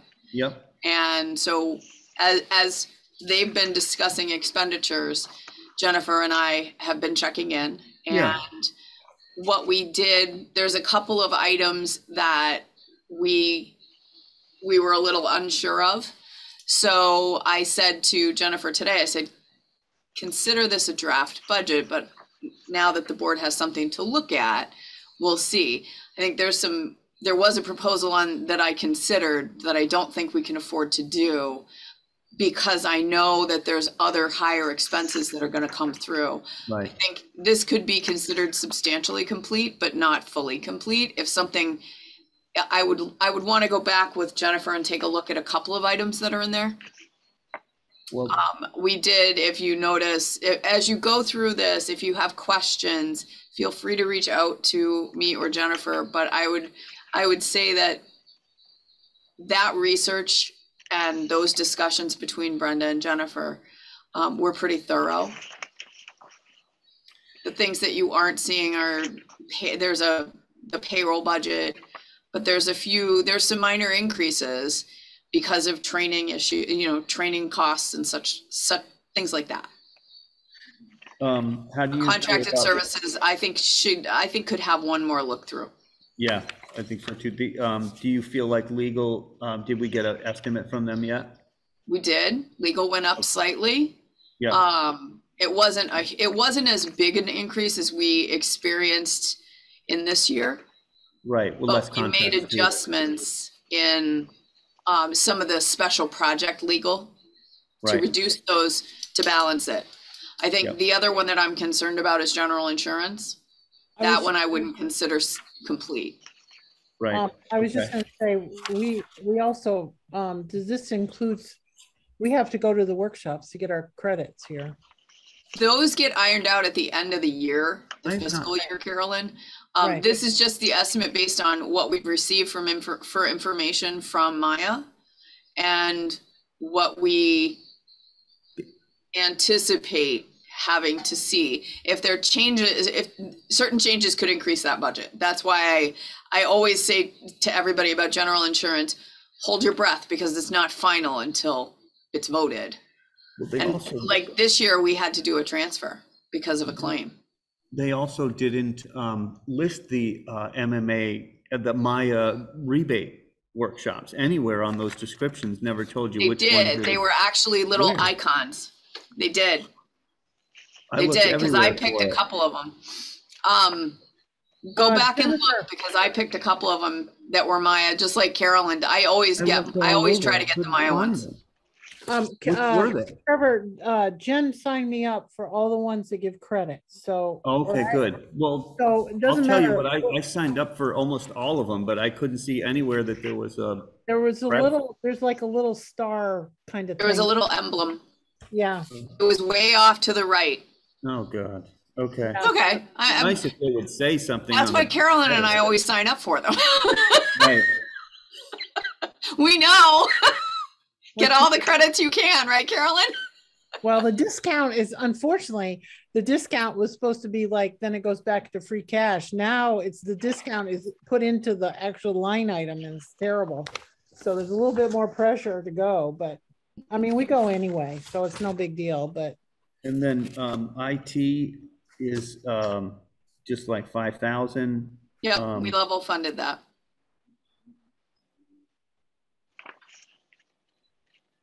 There aren't huge asks in these budgets that you're looking at now. Server coming up, nothing like that we have to do. Okay, So yeah, I recommend you just chew through them and we can discuss them offline individually. And I would want to include Jennifer in those conversations so she gets a feel for where you guys fall down on some of these budgets. and then Alex, if you could just print a copy, just drop it in a box or whatever, I could pick it up. Actually, Yeah, Alex, because you're still, are you still at the office? Yeah, yeah, I'll just do it right now. No, Oh, Okay, yeah, thank you. just run it, run it over to um everybody. I okay. already, and then you can just email it. to- Oh. No, one I'll, I'll we be need right over to, uh, to you, Carolyn, too, you know? is, Here- um, anyway. Manage, emergency management was another budget, you know, that looked like that went up a ton and, um. That's an ask. Yeah, I don't think that, that needs to be that high. So I wouldn't put this one in. Okay, we I- can revisit I that. think, I have to see what the overall budget is, but I, I think that's gonna be something that may be reabsorbed into another line item for a while. Yep. Um, I, I don't know, we have to look over the o- overall budget. When we get, when we look at everything. Well, everything's subject to change, Yep. but that was the ask that was sent through. So we mm-hmm. reflected that. Yeah, But I do think it bears some consideration. So I think maybe you got, maybe talk about it and we can circle back around with finance Okay. committee. yeah, But I will send an email to Brenda saying that these are, con- these are not final budgets. Yeah. Okay. Did we get through the meeting? good, And Then we got, well, no, no, I guess not. We still have uh, uh, let's see, Casey's, Casey's we report. don't, we don't have any permits for approval, do we? Casey? No. Okay, uh, purchase and sale agreement, that's And no, appointments, no. Uh, mail, We'll just go to, Well, we have the DDIC report. we'll just read it. Don't have to read it tonight, right? Yeah, we can read it some other time. Yep. Um, do we have, Elections we have to- commissions, uh, pre- We have to vote- precinct has said that, we have to vote to, um, uh, accept Jennifer Reynolds' resignation from the Personnel Board. In this. Can you Yeah. do it if it's not on the agenda? Well, we have. In a the mail. placeholder- it- We have a placeholder for appointments. Okay, Slash resignations, but so, let's see. If you want me to put it on an agenda, I can. It'll just be two Nope, weeks. that's fine. I can, I don't see it anywhere, but, I'll, I'll make a motion to accept the resign- resignation from Jennifer Reynolds for the, um, from the Personnel Board. I want to thank her for her time and good luck, um, up in Bernardston. I'm sure that's probably why she did that. Okay, thank you. Yep. I'll second that motion. I'll second it, okay. All those in favor? Hi, Trevor McDaniel. I, Carolyn All Ness. those in favor? I, Carolyn Ness. Hi, Dave Wolfram. Okay. Um, The CPC application for repurpose, I don't see that anywhere either. um, I haven't seen, I saw the, uh, drawing of the, you know, where we were gonna put the senior center on, but but I have not actually had a physical copy of that. You know, I where, you seen- Oh, yeah, I, I haven't seen that. And that, I think that's part of the CPC, um, application, right? well, it's not in the packet, so I'll have to, I haven't, So- seen I asked David earlier, Mr. Chair, I'm sorry, through you.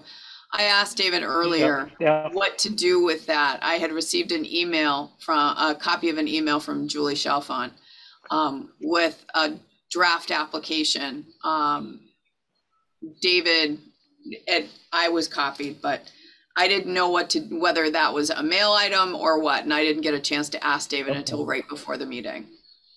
Isn't that Right. CPC application due March first? Because then we could, why don't we put this whole thing in on the February um agenda so that we can get a hard copy? Because I'd like to see the plan to include the uh senior center, Yeah. social, uh, community center, and then the addition of offices over connecting to the grammar school. Yeah. Um, I, I only saw it Yeah, on um, computer. I haven't seen it on hard copy. Yeah.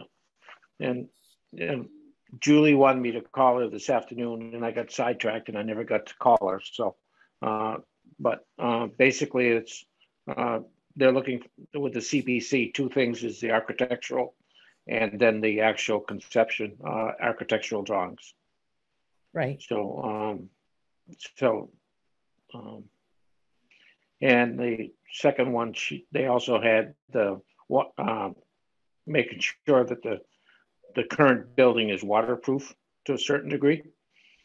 So, um, and I apologize for not getting back to Julie and having that information for the meeting.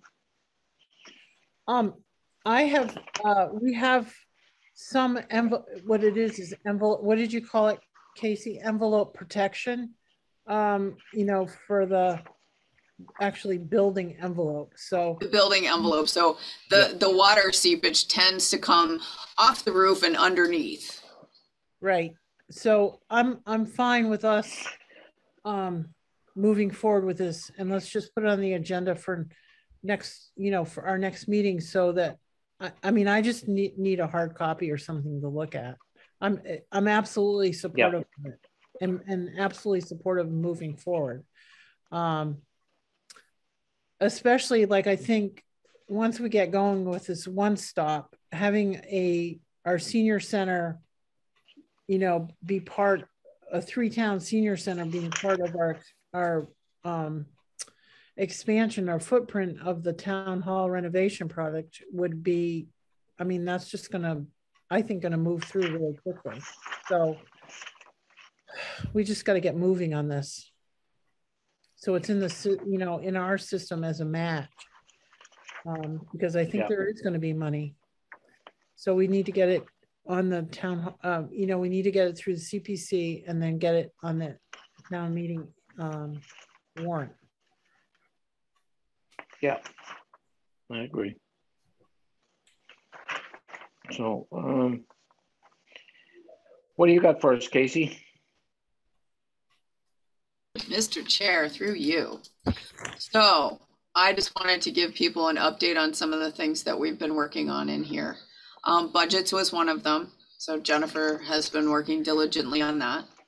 Um, CIPC had their meeting yesterday and um, Mark Brennan and I are going to be working on the spreadsheet um, to prioritize. And so he and I will set up a meeting to do that. I'll be working with Denise Mason. So Denise and I have had several meetings about the CCI. Um, I'll be working with her as we finalize at least some sort of conceptual discussion topic printout to have ready for Natalie and Joe's visit.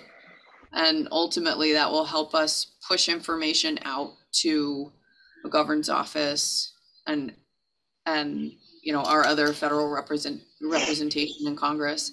Because if that's what we're going to need to do, we need to refine the approach.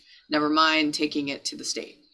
Um, so that's that's a piece that Denise and I have been working on for a couple weeks now. Um, other special projects are dealing with the South County Senior Center building issues, although a good portion of that Jennifer's handling. She's working with the contractor um, to deal with the water damage cleanup. Um, service coordination related to senior services is ongoing, and that we I wanted to take a moment right now to welcome Jennifer Remillard to our team. She will be starting as the South County Senior Center Director on Monday. So we'll do some onboarding. And then, hi, Jennifer. Thank you, Casey. Welcome. Welcome. I think we're all So excited. excited to have you. Thank you. I'm looking forward to it. So I'm just hoping I don't blow her head off the first day she sits with me. and I do want to let everyone know that I give a lot of credit to my peers in Whately and Sunderland. They're very supportive. We're going to be working together to help Jennifer understand, you know, coming into the senior center and, and what, you know, we all here see and have been trying to assist with. So it's not going to be a snap your fingers type of thing. It's going to be a process. And we're excited to start that process with you, Jennifer. Yes. We have I'm looking forward to learning all the nuances. So, um, she says that Good way to now. no, no, I think, you know, there, it is a learning process and I look forward to listening to, to everything. So thank you for the welcome. I appreciate it. Yeah. Do we have any update on uh, what's happening at the church? You know, our, Would you like that? I, I was about to get there. oh, okay. I was, So, so turn your ear, uh, turn your ears on, Jennifer. Um, so I've actually been working with Father John for a couple of months on a lease, and we're closer than we were. He and I have gone over several topics, and this lease we've been working on with the diocese legal counsel and our legal counsel, um, because we don't know how long we're going to need to be there. And so that's one thing that we've been trying to work through and I have an email out to him. I'm waiting to hear back from him. He had a couple questions about some service things that impact the church, but by and large, I think he I, he said to me he would call me if there was a problem. By and large, I think things are going well. Um, I think a, a lot of thanks goes out to Sue Corey and her helpers and you know the assistance we've received from the diocese through Father John and Suzanne, and we very very much appreciate their their help to continue service programming. Um, and that's going to be another thing that Jennifer's gonna gonna walk into. So we're gonna we're gonna work with the guys on that one, Jennifer. Um, but yes, we've been working on that and just sort of working the kinks out over there. Um, other stuff that's what about our church? The, you know, the, the next. So there's an Probably come with MOU. the I'm, MOU I'm talking that. to counsel about an MOU. Okay. all right. Yes, yes. So that's another piece that, that impacts senior services and where, where they are. So there's a couple of outstanding questions and I've been working on that as well. Um, other projects that are sort of in play, we've, we've got consults out with legal on various projects. Um, we're working with, I'm working with, on workflow stuff with the assistant superintendent on, there's various projects, but coordinating things. Um, especially he's helping with the vault investigation, so we'll have more, I'll have more information on that and I'll probably send a short email out once I know something. But we'll be working with various people, not just from the state. I think there's some private groups that can help us. I just don't know the extent of what we're looking at yet. And again, that sort of popped up. I wasn't expecting that one. Um, I will say that grant administration, particularly related to MVP, is about 40 to 50 hours a month. And it is taking quite a bit of time, and it's not just me, it's three other people, including my, and, and me, that are working on that because it's a very, fairly heavy grant administration process. We've had to create new admin documents to track the information to the satisfaction of the state. And it, it take, it took some time to come up with those things. So that's a piece of, of the grant administration that everybody needs to understand. Um, we also have some administrative process adjustments that we're gonna be working on. Public records requests are taking up a great deal of time, not just my time, but several folks, several administrative folks and me. Um, and then we've got, there's all sorts of meetings that are going on, meetings during the day, meetings in the evening. This is my third meet, night meeting and my seventh meeting of the week. Which I have to say, I need to let people know this impacts my ability to provide deliverables. Um, we've got information, we've got employment vacancies we have to deal with, working with personnel board on the manual, and they're interested in some policies. Um, there's collective bargaining agreements. We have two right now that are going on. There's other HR questions. And again, these sort of projects that that slide in the radar screen around what's going on and they come up in phone calls and questions from the board and from other people. So that's the general overview. Jennifer's working on the website. She's doing a lot of work assisting with in the MVP grant to add to put the page together for the MVP portion of that grant project. And so, but a good portion of her web processing is happening with um, both those things the new website build out and the MVP work. Uh, plus, scheduling for the meetings is pretty top heavy. We, we, uh, the select board knows that we received a, an opinion from counsel cautioning us to make sure that any meeting that multiple select board members attend is a posted meeting. So I will prevail on the board to identify the meetings they think they plan to go to and let us know so that we can properly post. But that can take anywhere from 10 minutes to half an hour, depending on what's going on. So I just want to caution everybody that if we're doing multiple meetings, we need to be aware of it. Okay. And that's really what's going on in here in a nutshell. There's other things, but in a nutshell, that's what's going on. I think you need to post the finance committee meetings at a minimum. Jennifer's working on that now. Um, I don't know what other ones, Trevor and Dave, you think you want to attend, but Well, any, any capital and any, any finance for the budget meetings, really, that's my thing. And any, obviously CCI, but I think they're posted already, so. I would say finance, I would say say CPI, um, SCEM. I both go to SCEM. Um,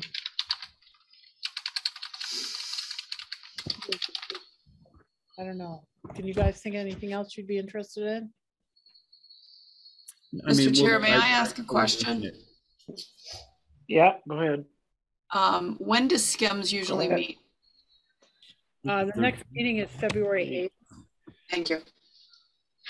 meet, uh, the second Tuesday of the month Thank you. at six. It's supposed to be, the- it's actually supposed to be the third, but because of the conflict, they moved it to the second this in February. Oh, it's, oh, I'm sorry.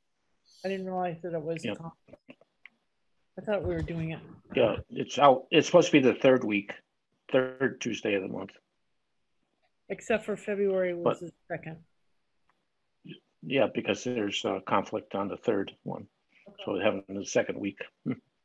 Okay. Trevor, just talk.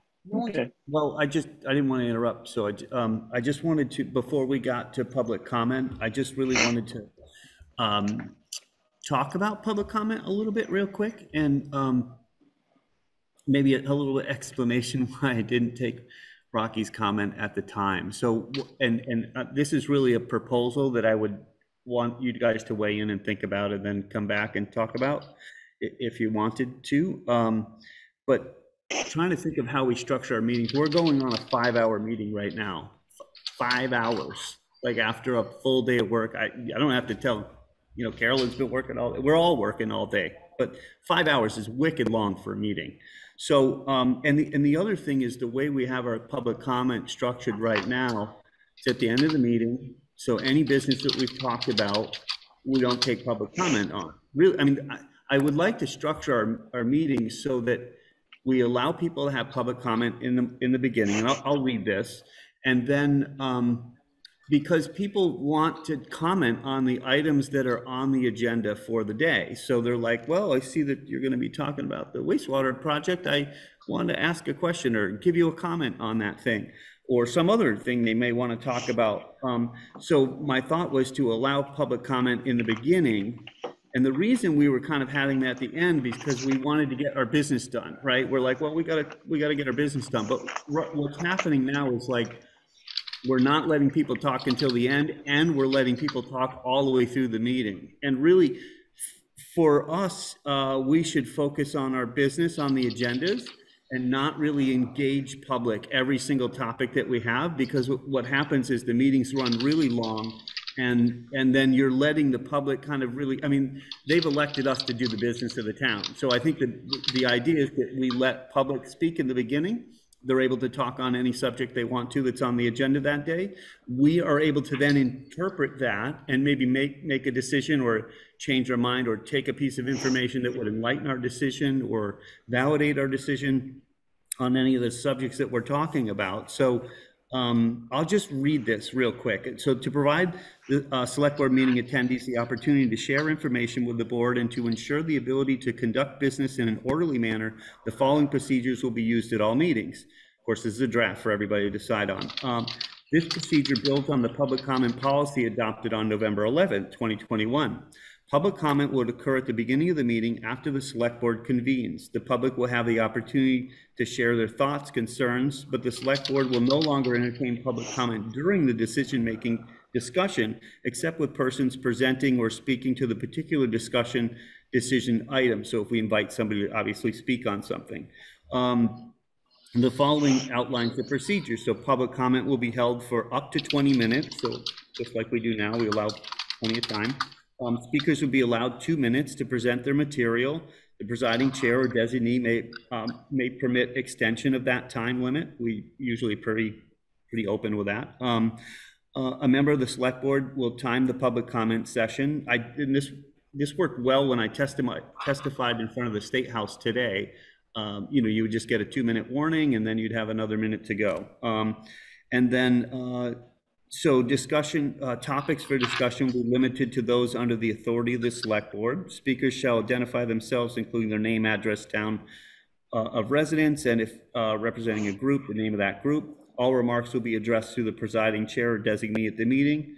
So it was really just to kind of restructure so that we weren't like stretching out the topic so long and like engaging with public like we know our business and we need to take those votes and move along with that. And then, but I did, I, I, felt like we weren't offering that ability to hear from the public until the end after all of our stuff is done. So my thought was like, let's have public comment towards the beginning. It doesn't have to be right at the beginning, but sometime towards the beginning of the meeting before we get into the discussion items. So we can get all the, you know, all, people, people get things off their mind or, or let us know. And then we would go on and um, do the business of the day without getting into this back and forth of just between public comment every single item that we're talking about. It just makes the process move a little quicker and maybe, you know, wouldn't be a five hour meeting. I, so anyway, I leave that for you to look at and think about. I'm, I'm okay with that. The only thing I, I'm just saying is that we really have to be, I want to make sure it's limited because what happens is you know, over the years, we did have public comment in the beginning. And the reason why we moved it to the end is because we were getting derailed all the time. Um, so yes, if we have a 15 or 20 minute limit and you and you limit people to a couple minutes, then I'm okay. I'm okay and we don't engage. So the problem is, is that every time somebody makes a comment, we want to discuss that comment, and then we want to validate or or talk about that comment was, you know, you're right or you're not right or we're going to do this. We just take the comment and we say thank you for your comment, and we may, you know, if you wanted to say something or eh, it is really important, but the whole idea is people can explain what they want to say.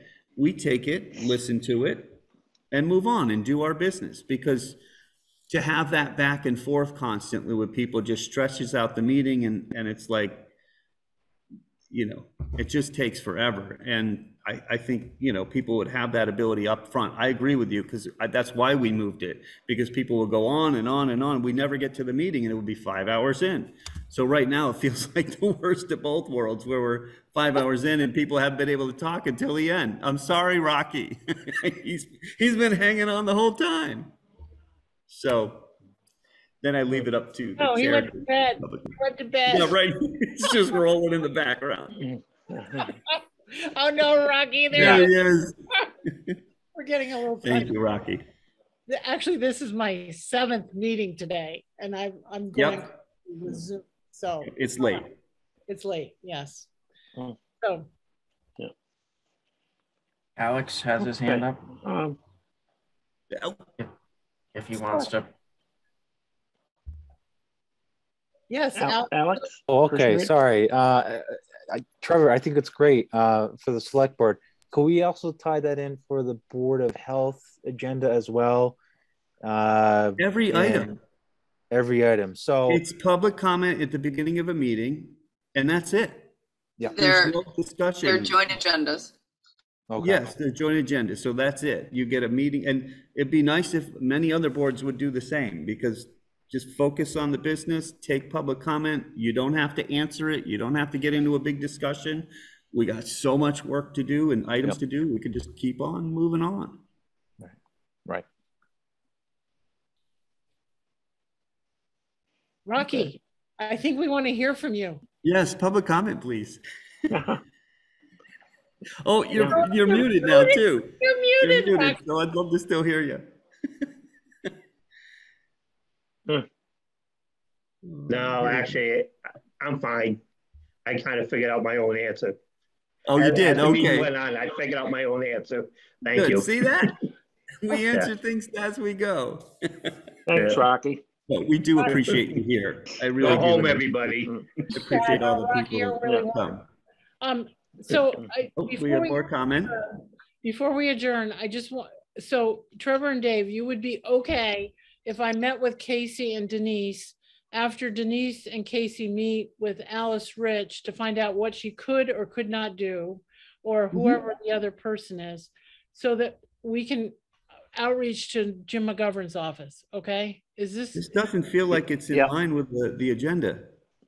Well, no, I just wanted to make sure before, we we don't have, we're not supposed to discuss anything until unless we got a posted meeting. And this is unanticipated. This isn't public, you're not part of the public. Wait a minute.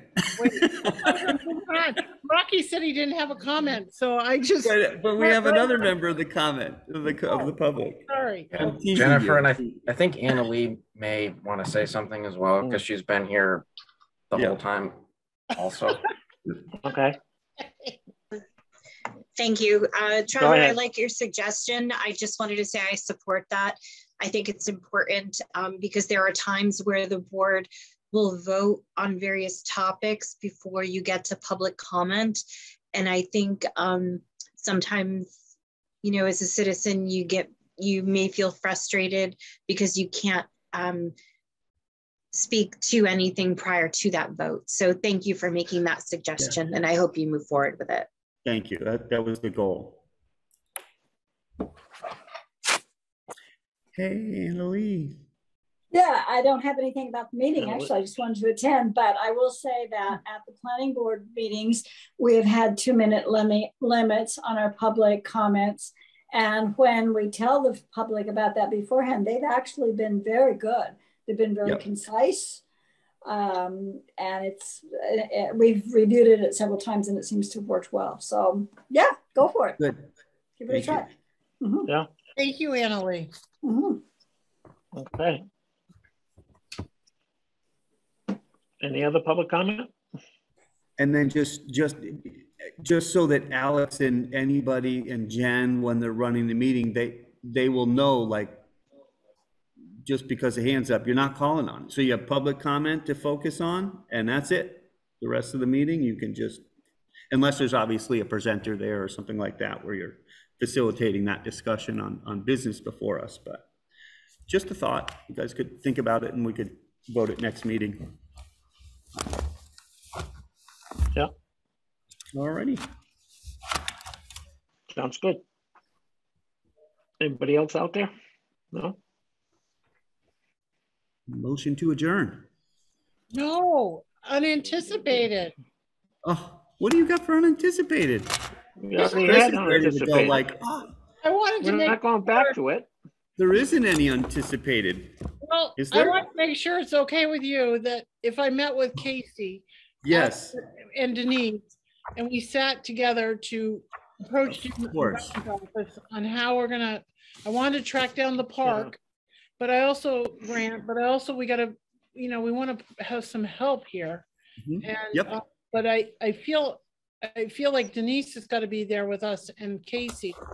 And, you know, but what we can do is also going to be dependent, you know, if finding this grant person to work with us. So I want to make sure after Casey and Denise do this, you know, interview kind of situation or would decide what they're going to do or take the risk or whatever we're going to do, that we then have the ability to sit down and start, you know, working on this. So I didn't want you to think that, I mean, we don't Yeah, have no, to figure just out. what- report it back. Okay, Just okay. report it back. Yeah, Just that sounds, just trying to make sure it was okay with you Okay. guys. yeah. All right. Yeah, no problem. So we have a motion to adjourn on the floor. Any seconds? I will second that. Thank you. Okay. All those in favor? Hi, Carolyn. Hi, Trevor McDaniel. Thank you Hi, David all. Wolfram.